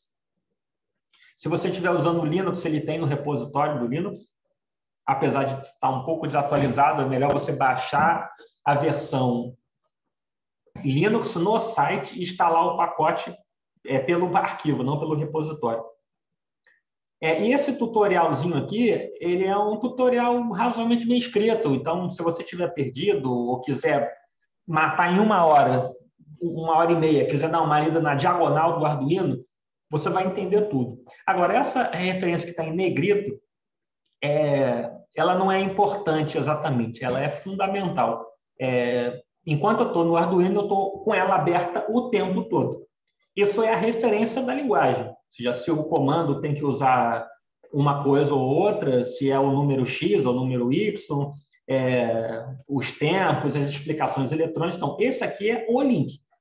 É, você consegue acessar ele fácil. Deixa eu até abrir aqui a interface.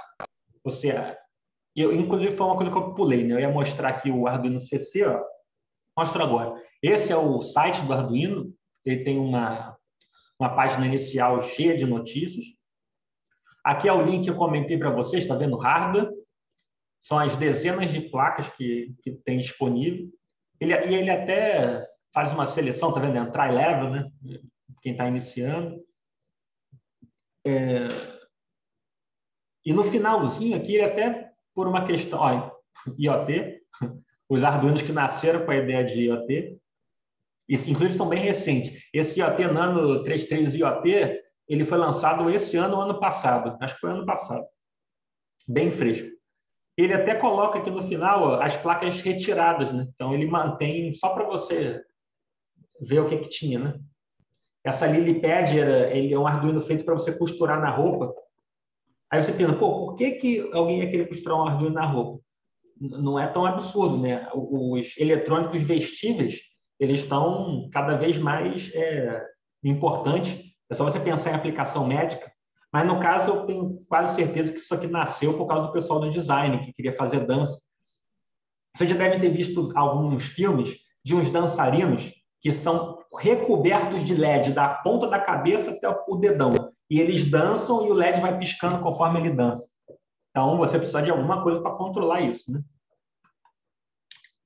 O software aqui, tá vendo? Você vai baixar o seu Arduino por aqui. Essa é a versão mais nova, tem os vários sistemas operacionais. Aqui está o, o tal do Arduino IDEA 2.0, se você quiser se aventurar.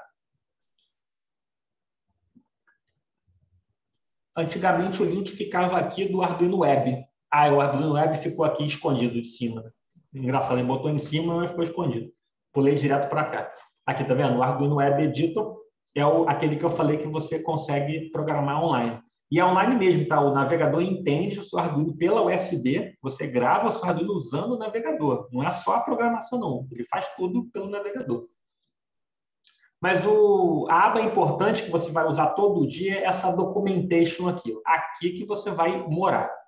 Esse Getting Started é que é legal, porque você pode dar uma... Ele, ele vai realmente iniciar, vai, vai ter um papo furado né, sobre o, o Arduino, mas o que eu acho importante mesmo é esse aqui, referência.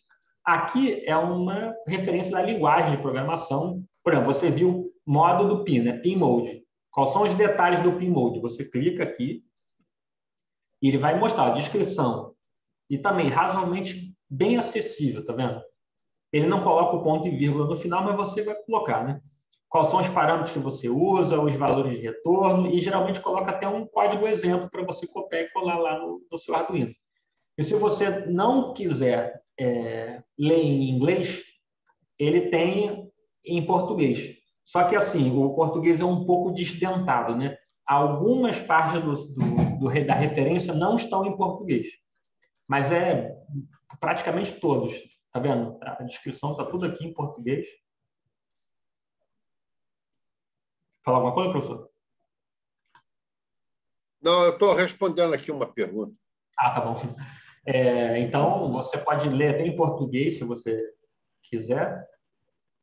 É, eu, eu gosto do inglês porque, às vezes, o, a tradução enrola um pouco né, o, as palavras. Agora, uma coisa que você não pode fazer de forma nenhuma é porque, às vezes, você deixa o Chrome traduzir uma, um, um site para você.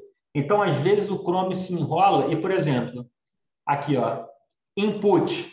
Ele não sabe que esse input é um comando e não é uma palavra input.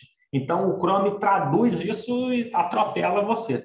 Então, é, não use a tradução automática. Se você faz questão de ler em português, leia, marque a opção português, porque alguém digitou isso, não é uma tradução automática.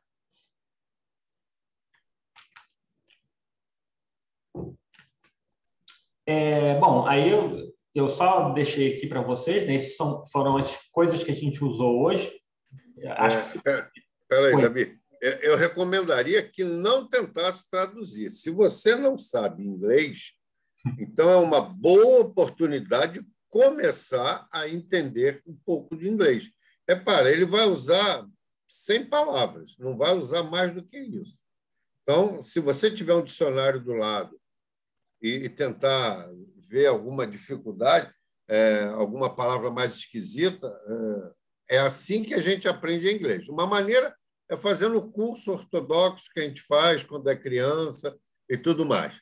Muita gente não tem essa condição. Então, como é fundamental saber inglês, então é a hora. Pô, você tá, vai, vai brincar com o Arduino, vai começar a desenvolver programas, quer começar a entender. Ah, está em inglês. ótimo. É a hora de aprender. É assim que se aprende, quando não se faz o cursinho lá atrás, bonitinho, quando é criança e tudo mais. É assim que se aprende. Posteriormente, depois que você dominar um pouco, você pode até fazer um curso para adulto, um curso de conversação, é, que é fundamental, é importante também. Mas não perca a oportunidade. Sempre que tiver uma coisa em inglês, manda ver. Não tenta traduzir, não. Tenta resolver o, o problema. Lembra sempre aquela frase que um, um, um, um diretor falou para mim, que é o seguinte: a solução do problema sempre está no problema.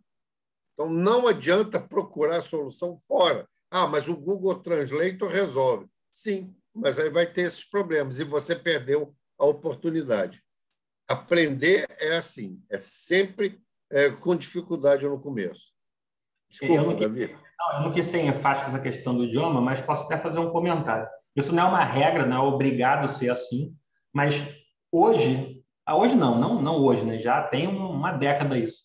As equipes de programação elas são mundiais, então existe um bom senso de se programar em inglês. Isso não é uma regra que tem que ser no fogo, mas e o que eu quero dizer com programar em inglês? Não é usar uma linguagem de programação que usa o idioma inglês. É você, no que te cabe, usar o inglês. Então, você vê código que o cara bota assim, ação. Ação, tu você não vai poder botar o tio e o C cedilha. Então, já ficou acão. Em inglês não tem esse problema. Você, nunca vai ter problema de tio, é, acento, nem nada. Então, de uma forma geral, as equipes de programação programam em inglês. Só você está tá falando das variáveis, nome de variáveis e de funções. Né? A gente sempre recomenda que a, a, o, o nome seja um descritivo do que é. Você chamar uma variável de A, outra de B, outra de C, outra de D, não está dizendo nada. Depois você não sabe no futuro, ou você mesmo, ou a outra pessoa que vem depois de você no laboratório, quando você é aluno e tudo mais, ele vai olhar A, B, não sei o quê. Se você disser que é, é sei lá, é, variável de controle da temperatura, é, se você for é, é, contador, não sei o quê, fica muito mais claro. Entendeu? Agora, seguindo a, a orientação que o Davi falou, é escreva essas palavras, essas variáveis em inglês. Então, em vez de contador, coloca counter. É, exatamente. E, Entendeu? Coisas desse tipo. Existe uma, uma, uma frase, eu, foi um amigo de trabalho que falou isso. É, é, tava aquelas discussões que não tem muito sentido de qual é o melhor editor para digitar, porque eu, eu, nesse eu digito mais rápido, esse tem mais atalhos. Aí uma menina que estava lá calada, não falava nada, ela olhou assim, pessoal, essa discussão de editor, ela é meio boba, porque assim, uma, uma visão mais moderna de programação é que você lê muito mais do que escreve. A, a, a, o chute é isso, você lê dez vezes e escreve uma vez. Então, se você economiza a escrita e bota x é igual a 10, você está economizando um negócio que você faz pouco, que é escrever. Agora, a leitura, você vai ler x é igual a 10 10 vezes. Era melhor você colocar, como o falou, temperatura é igual a 10. Então, quando você, o ato de ler o seu código, que é muito mais frequente do que digitar o código, passa a ser um texto, um texto mesmo, claro, com os, os sinais matemáticos, mas ele é um texto legível. Por exemplo, pega essa tela. O cara do Arduino colocou pin mode, digital read, digital write. Ele poderia ter sido econômico, chamado de PM, DR, DW, DHLO. É econômico, mas hoje em dia nós temos editores modernos que completam código para a gente, que dá dica. Então, assim, digitar deixou de ser um problema. Então, há 20, 30 anos atrás, que você tinha restrição de verdade, você tentava ser muito compacto, inclusive é compacto mesmo, para em vez de colocar temperatura, botava TPM, é, coisas assim, e não precisa mais disso. Um código legível é mais importante do que um código econômico em termos de escrita, porque depois de compilar não faz a mínima diferença se você botar x igual a 10 ou temperatura do laboratório igual a 10. O que for gastar na memória não vai mudar nada. Não vai ficar mais rápido, mais lento, mais devagar. Mas para o humano é muito mais interessante. Digamos. É, Davi, Oi. até nisso aí, quem, quem já teve a curiosidade de pegar e, e ver o código, o objeto gerado pelo compilador, no compilador isso não faz a menor diferença. Ele vai pegar os nomes das variáveis e vai gerar uns nomes aleatórios dele lá, que é ele que vai trabalhar. Então, se tu usar uma frase de 120 caracteres para definir uma variável, o compilador ele vai ignorar aquilo e vai transformar aquele teu nome no nome dele, no código dele. Então, não faz diferença. Exatamente. No fundo, ele vai chamar de variável 1 até a variável 1000. Seja lá o nome que você der. Ele vai renomear e não vai mudar nada. Bom, essas referências aqui eu coloquei só por só por colocar. Eu, foram alguns lugares que eu, que eu peguei uh, algumas imagens para dar referência. Aqui o, o Newton Sebraga, ele explica se você... Eu gosto muito de eletrônica analógica, apesar de ser trabalhosa, e, mas é muito interessante e legal ver aqueles circuitos. Então, aquele multivibrador, lá do início do slide, está aqui, é, aqui é a história, isso aqui é o, é o site oficial da Intel, contando a história dele, né, do, do Intel 4004. É, do resto, vocês podem dar uma futucada. É, eu consegui terminar a aula faltando meia hora, então é, eu, eu coloquei uns, uns slides extras, é, que eu vou, posso mostrar um, alguns exemplos no Tinkercad que tem a ver até com o curso de mestrado que a gente, que a gente dá, mas a gente, eu posso também abrir para umas perguntinhas, e acho que vai, fica o dia leve. Ô, Alan, depois, ô, ô, Davi, depois me dá cinco minutos para mostrar o, fio, o vídeo Pode de ser. ontem.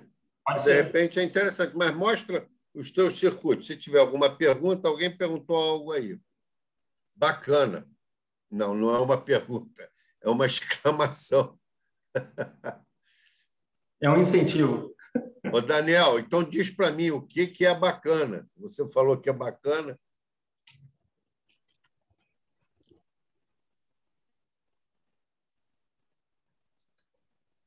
Bom, enquanto o Daniel se decide, eu vou só mostrar aqui alguns circuitinhos no Tinkercad, porque você pode olhar essa tela e, e achar que, pô, mas chá, não vai funcionar muito bem. Então, é, eu mostrei alguns circuitos que eu até usei no curso de mestrado, e, e, um deles foi um exercício que eu passei para os alunos fazerem. É, eu, não, eu não lembro de cabeça quantos alunos dessa escola estão no CBPF, mas eu acredito que seja um curso legal para vocês fazerem. É, essa foi uma, até uma discussão da semana retrasada, que se você está com medo de fazer mecânica quântica, é, eletrônica analógica e métodos é, esqueci agora a matéria do Geraldo. Sistema de medida? Sistemas de medida. É, de medida, mas você quer experimentar o mestrado, é uma boa matéria, porque eu, eu, eu, eu corrijo todos os seus exercícios, eu dou aula igual o professor de segundo grau, vou ler todas as linhas do seu código, e o Newton ele, ele vai ser o seu orientador de brinde, né? porque ele vai fazer você escrever um projeto e, e ele é muito atento ao que você está falando, à sua ideia. Então, se você propor um, um projeto sem pé nem cabeça, ele vai ter cabeça, vai ter pé, porque ele vai dar um jeito de você chegar nesse ponto. É, mas, assim, a gente não está falando de mecânica quântica nem de eletromagnetismo. Dá para levar a cadeira é um experimento. Então, vou mostrar aqui algumas montagens. É,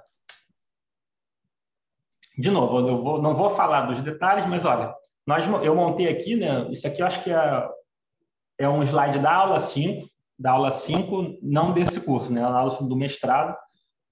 Estava explicando sobre esse chip, o Arduino e vários LEDs. Né? No Tinkercad, você clica no LED, você pode escolher a cor do LED aqui. É, e como eu falei da eletrônica, o Tinkercad ele simula muito bem a eletrônica. Então, esse LED não é só um negócio que fica colorido na tela, não, é um LED de verdade. Então, ó, eu vou iniciar aqui para rodar. Esse, esse programinha é muito simples, ele realmente é didático, é só para o aluno aprender a fazer. Ele vai converter o número que eu colocar aqui em binário em LED. Então, se eu botar, por exemplo, 1 e mandar o Enter aqui, ó, de novo. Desculpa, acho que eu fui um pouco rápido demais. Deixa eu parar aqui e voltar. Escondido aqui no Arduino, você tem um chip que faz uma comunicação com o computador. Então, quando você inicia a simulação, no Arduino IDE você tem uma coisa parecida, que é o monitor serial. Você consegue enviar e receber texto para o Arduino. Então, esse é, monitor serial, eu puxei aqui para você não ficar distraído com o meu código, né? Eu só puxei aqui para cima, mas no Arduino é isso, o que você vai ter lá no IDE. É uma página para você digitar os comandos, e quando você aperta o Enter aqui, o Arduino recebe. Quando o Arduino envia, ele vai aparecer aqui. Então, por exemplo, vou botar o número 1 em binário, né? Aliás, vou botar em decimal, mas ele vai converter para mim. Eu boto 1, ó. Esse texto que apareceu aqui foi o Arduino que está mandando para mim. Se fosse no seu computador, lá na sua telinha do monitor é, é, é, serial, você estaria recebendo isso. Ó. Você digitou o número 1, lembrando que isso aqui eu, eu que decidi. É, esses, essas três, esses três sinais de setinha, eu que queria colocar assim, uma forma de colocar, né? E aí, qual é o bit que liga? É o B1. O verde ficou ligado. Se você quiser ligar o 2, é o 2 em binário, né? Ó, aí ele mostrou aqui. É o bit 1 e o bit 0. Se você colocar o 4, ó, já vai para o 3, tá vendo? Aí, 1, 0, 0. 8, vai ligando. Vou botar aqui, 128, é o último. Eu só escolhi essas cores para ficar com aquela cara de medidor de, de música, né? Agora, se eu colocar um número qualquer, 37, ele vai converter 37 para binário, tá vendo? Deu da direita para a esquerda, ó, 1, 0, 1, 0, 0, 1. E ele replicou aqui. Então, eu não lembro se, se, o aluno teve que fazer alguma coisa, mas você observa que já é um, um circuito cheio de fios, cheio de componentes, que razoavelmente funciona muito bem. Né? Esse daqui, é, eu consigo fazer isso aqui. Eu vou compartilhar o meu som. Isso é uma coisa legal. É, Milton, só confirma se o som está sendo direito aí. Vou iniciar aqui a minha simulação. Ó.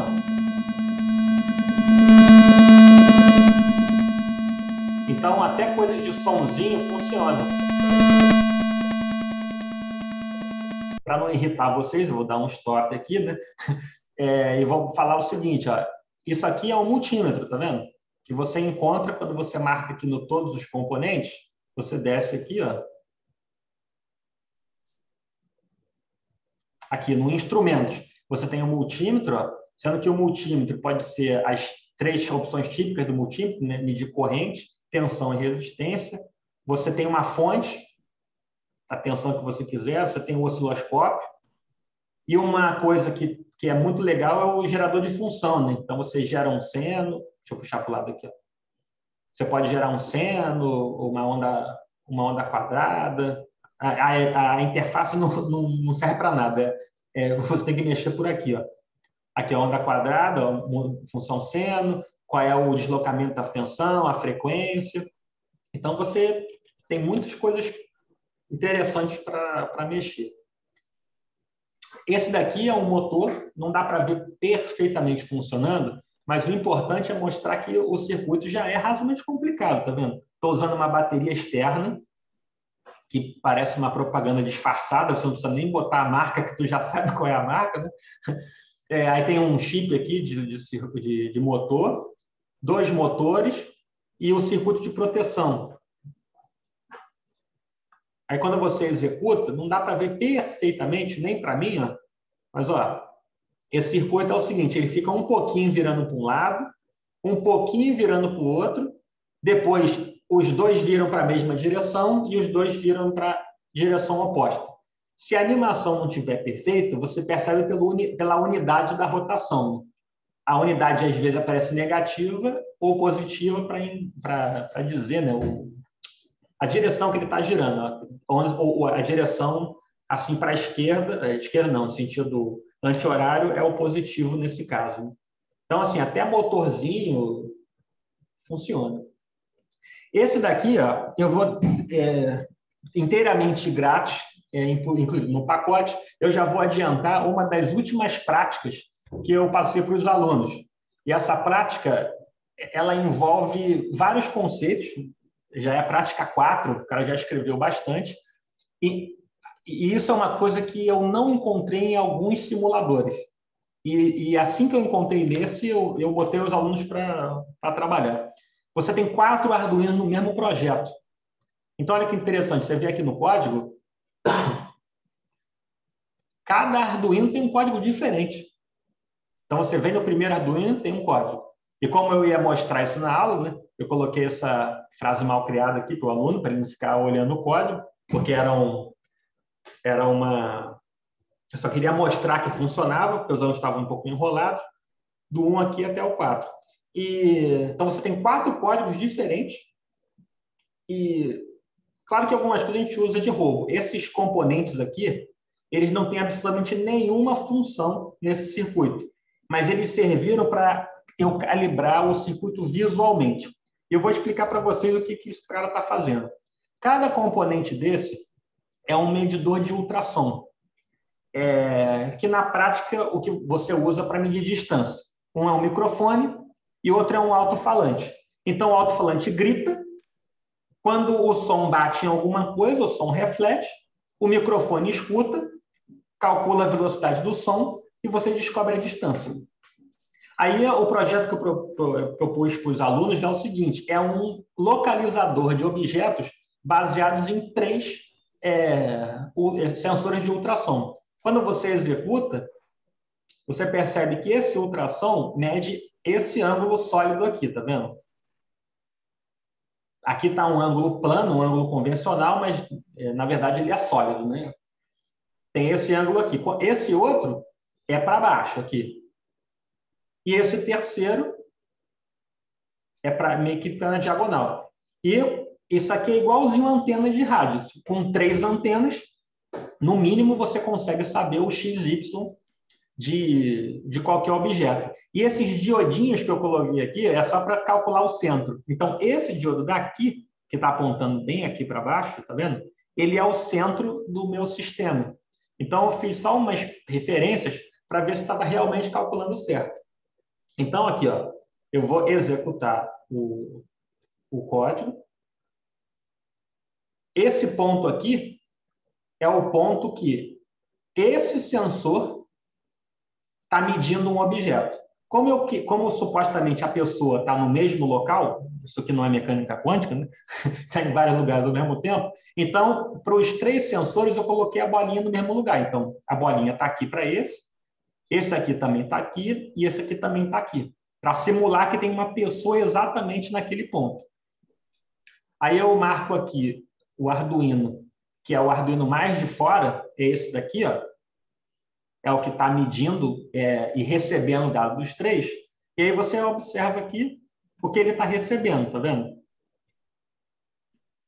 Aqui é o, é o, eu coloquei em coordenadas generalizadas, né? ou seja, aqui é 0%, ou seja, de 0 a 1 na horizontal e de 0 a 1 na vertical. Então, a bolinha aqui, onde está marcando, deveria estar tá dando meio-meio, que é o que está dando aqui, tá vendo? Eu vou parar a simulação para o texto parar de andar, mas olha, ele acha que o cara está na posição 0,49, 0,47. Lembrando que eu coloquei isso na marra, né? Então, se você iniciar aqui a simulação e andar um pouco para o lado, ó, vamos supor que o cara esteja aqui, ó.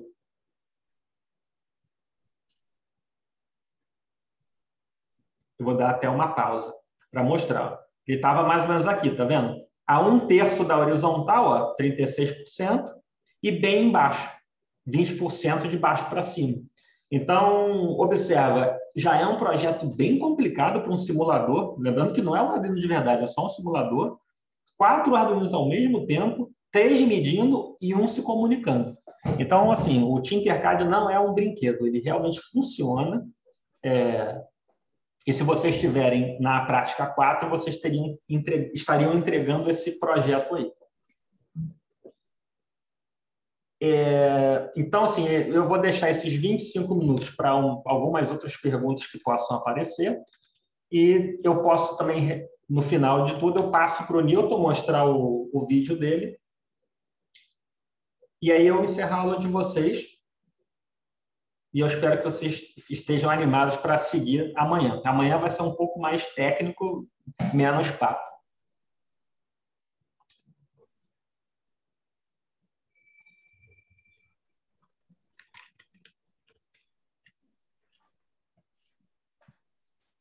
Alguma, Alguma pergunta, pergunta pessoal?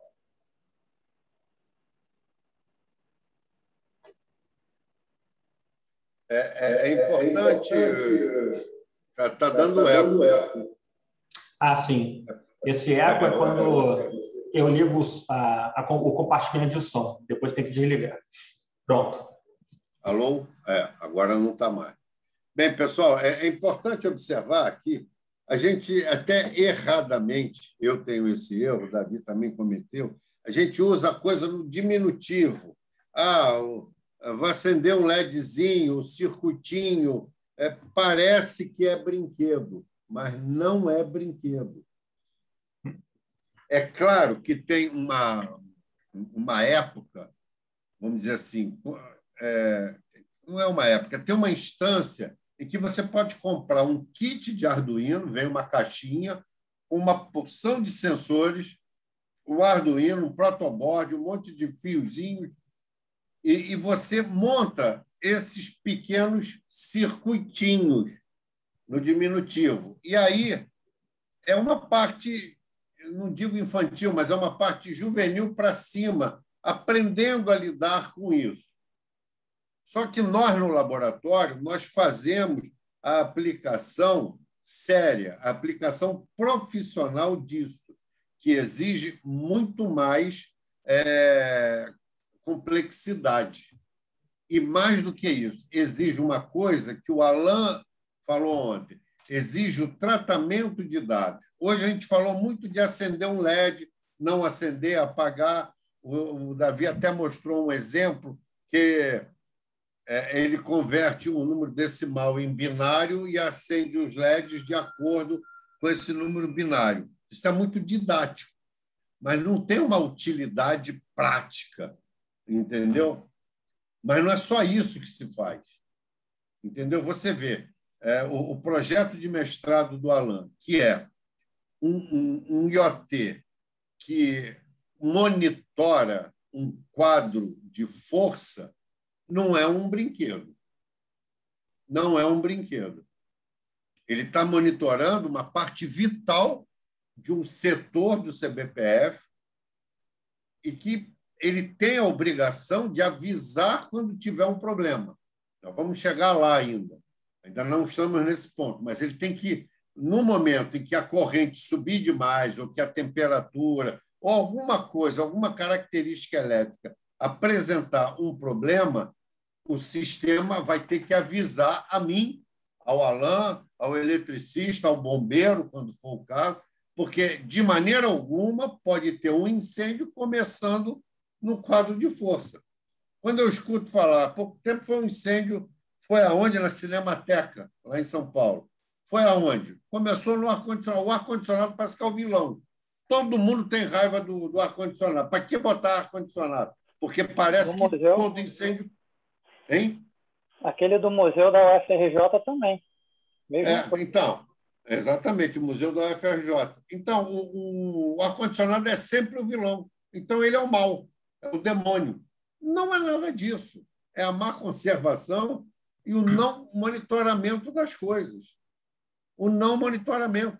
Em todos eles, se um lugar crítico para fogo, tem que ter monitoramento em, coisas críticas tem que ter exemplo, colunas d'água passando dentro de uma biblioteca, no teto de uma biblioteca, é para morrer, né? Porque se der um vazamento, e um dia vai dar um vazamento, pode estar certo. Não vai ser hoje, não vai ser amanhã, mas um dia vai dar um vazamento. E água e papel não combinam. Assim como fogo e papel não combinam. Então, tem algumas coisas que você tem que utilizar os recursos que a tecnologia tem. O grande barato do IoT é que você pode prototipar na sua mesa de uma maneira muito simples, de uma maneira até barata, para depois bolar a coisa mais ampla. E aí entra a análise de dados que eu volto a afirmar de ser fundamental. Entendeu? Você tratar os dados que o IoT está tá, tá, tá adquirindo é fundamental. Tá certo? Eu vou mostrar para vocês agora um vídeo que é sobre uma cidade inteligente. O, o vídeo ele é, tem uma musiquinha de fundo e ele não tem ninguém falando, mas aparecem imagens. Procura ver o que, que já tem funcionando. Isso aqui não é um vídeo, apesar de ser um filme, um desenho, isso já existe em algumas cidades. Entendeu? Isso já existe. Eu vou tentar compartilhar. Agora, como é que compartilha? Aqui. E cadê o vídeo?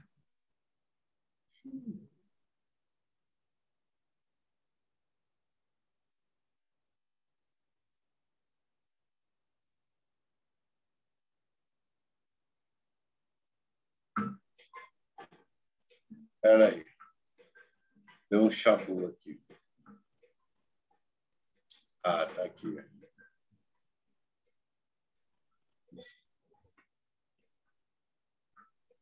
Estão vendo? Sim. O som está razoável? Não, está no mudo.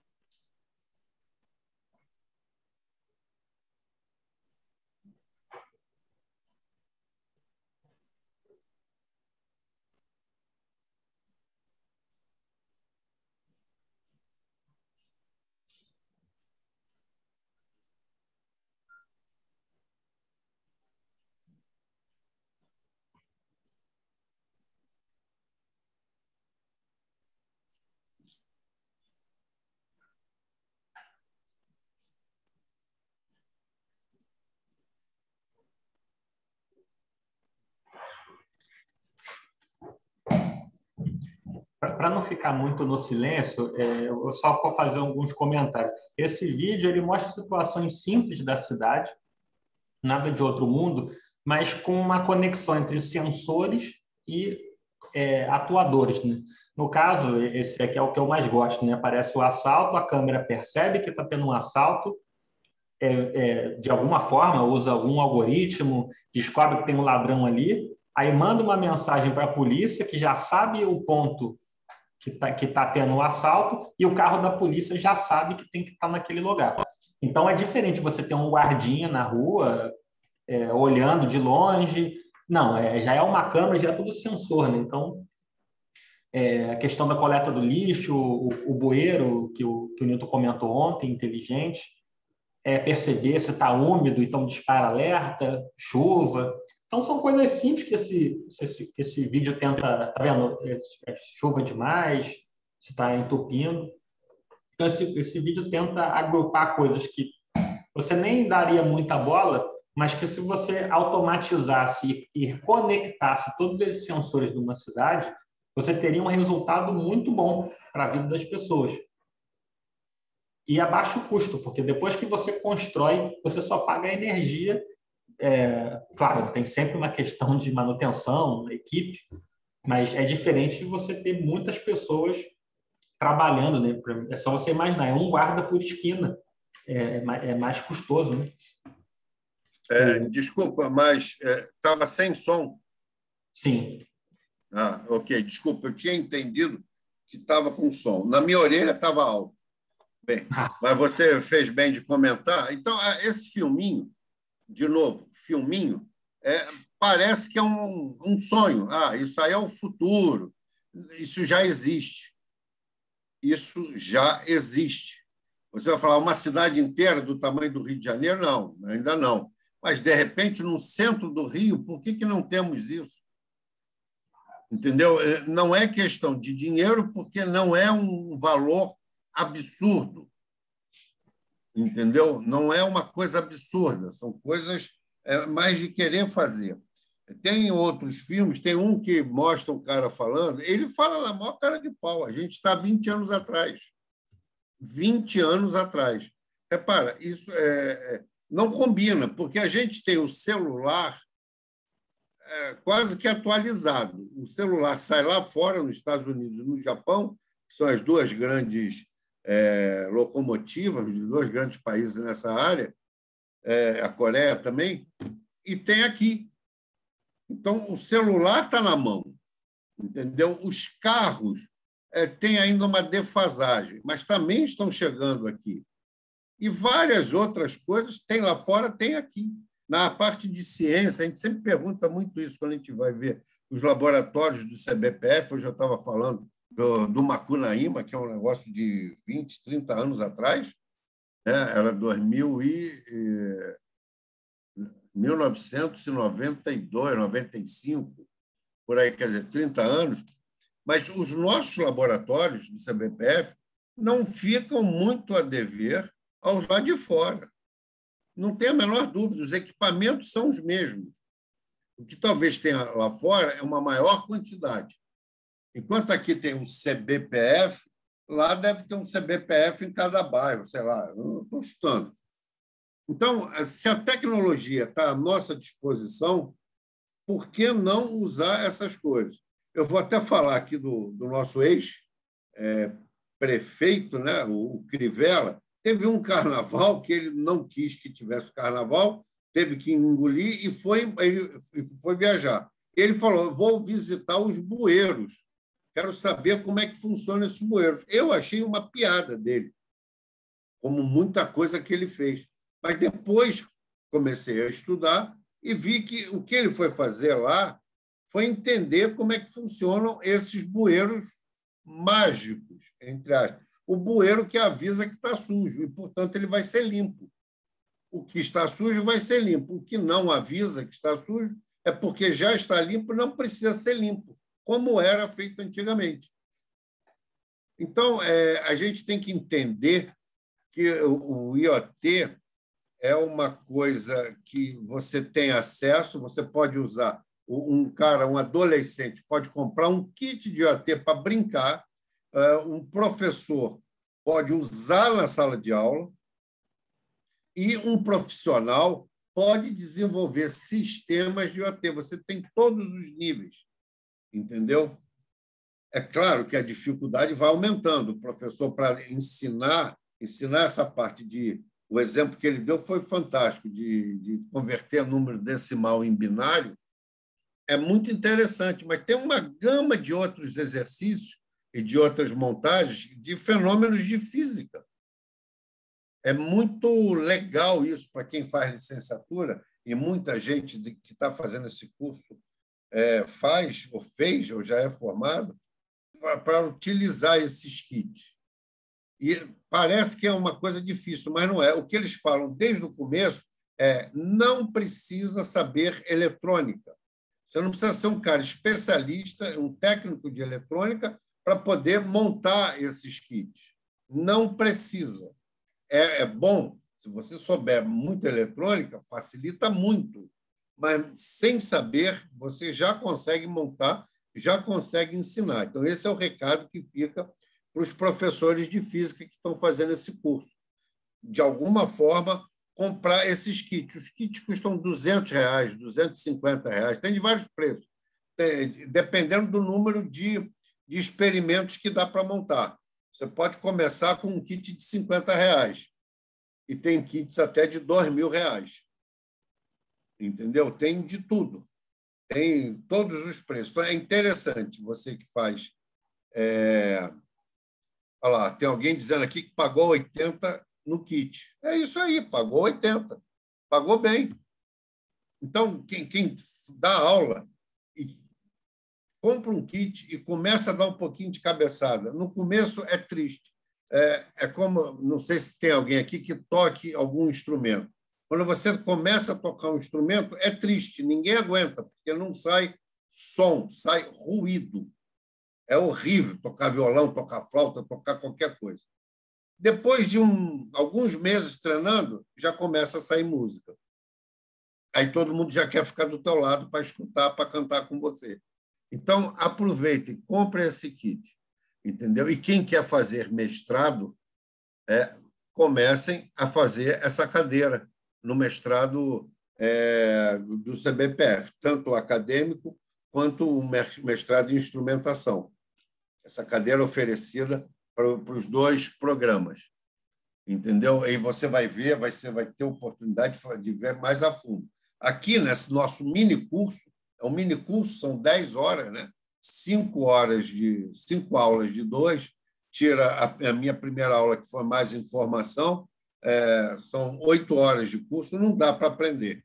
Mas quem vai fazer o curso de mestrado, da, da pós-graduação, esse vai. Toda semana tem um experimento. Você aprende o experimento na sexta, tem que entregar na outra sexta.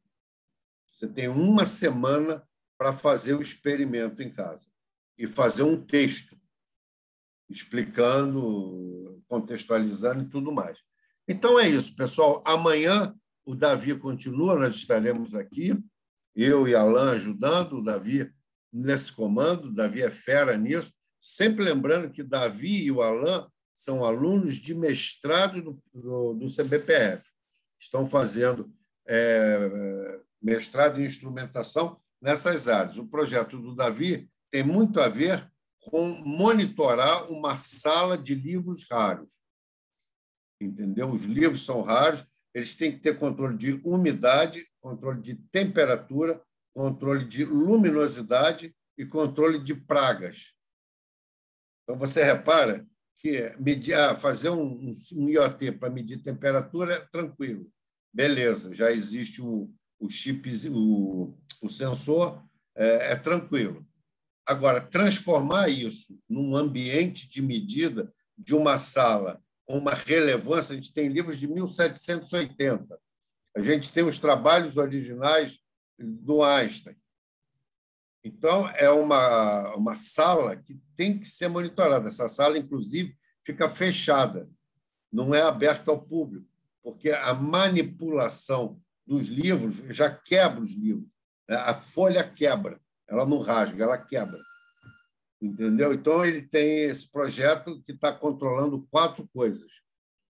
A ideia é monitorar e atuar, que é, que é o lado contrário. Né? Você recebe a informação, analisa o dado e você devolve a informação para controlar o, o desumidificador, para controlar, de repente, a persiana, para abrir mais, para fechar mais, você controla o ar-condicionado para aumentar a temperatura, diminuir a temperatura, coisas desse tipo. Então, você vê que o IoT vai do juvenil para fazer um LEDzinho acender, passa por um professor ensinando coisas de física, coisas de engenharia, coisas de matemática, e chega ao nível profissional, que é o nível é, da engenharia. É o nível de controle de, de situações, de, de salas, de quadros de força, de cidades, é, de carro, de tudo. Tá certo? Então vamos lá amanhã, vamos ver se a gente. Quando acabar a aula das, das 14 horas, acaba 16. Todo mundo vai no banheiro, faz um xixi rápido, bebe uma água e volta para a gente começar cedo, tá? Que amanhã já vai começar a ficar mais estendido. Valeu? Um abraço a todos. Até amanhã. Tchau, pessoal. Até a próxima. Valeu, pessoal, então.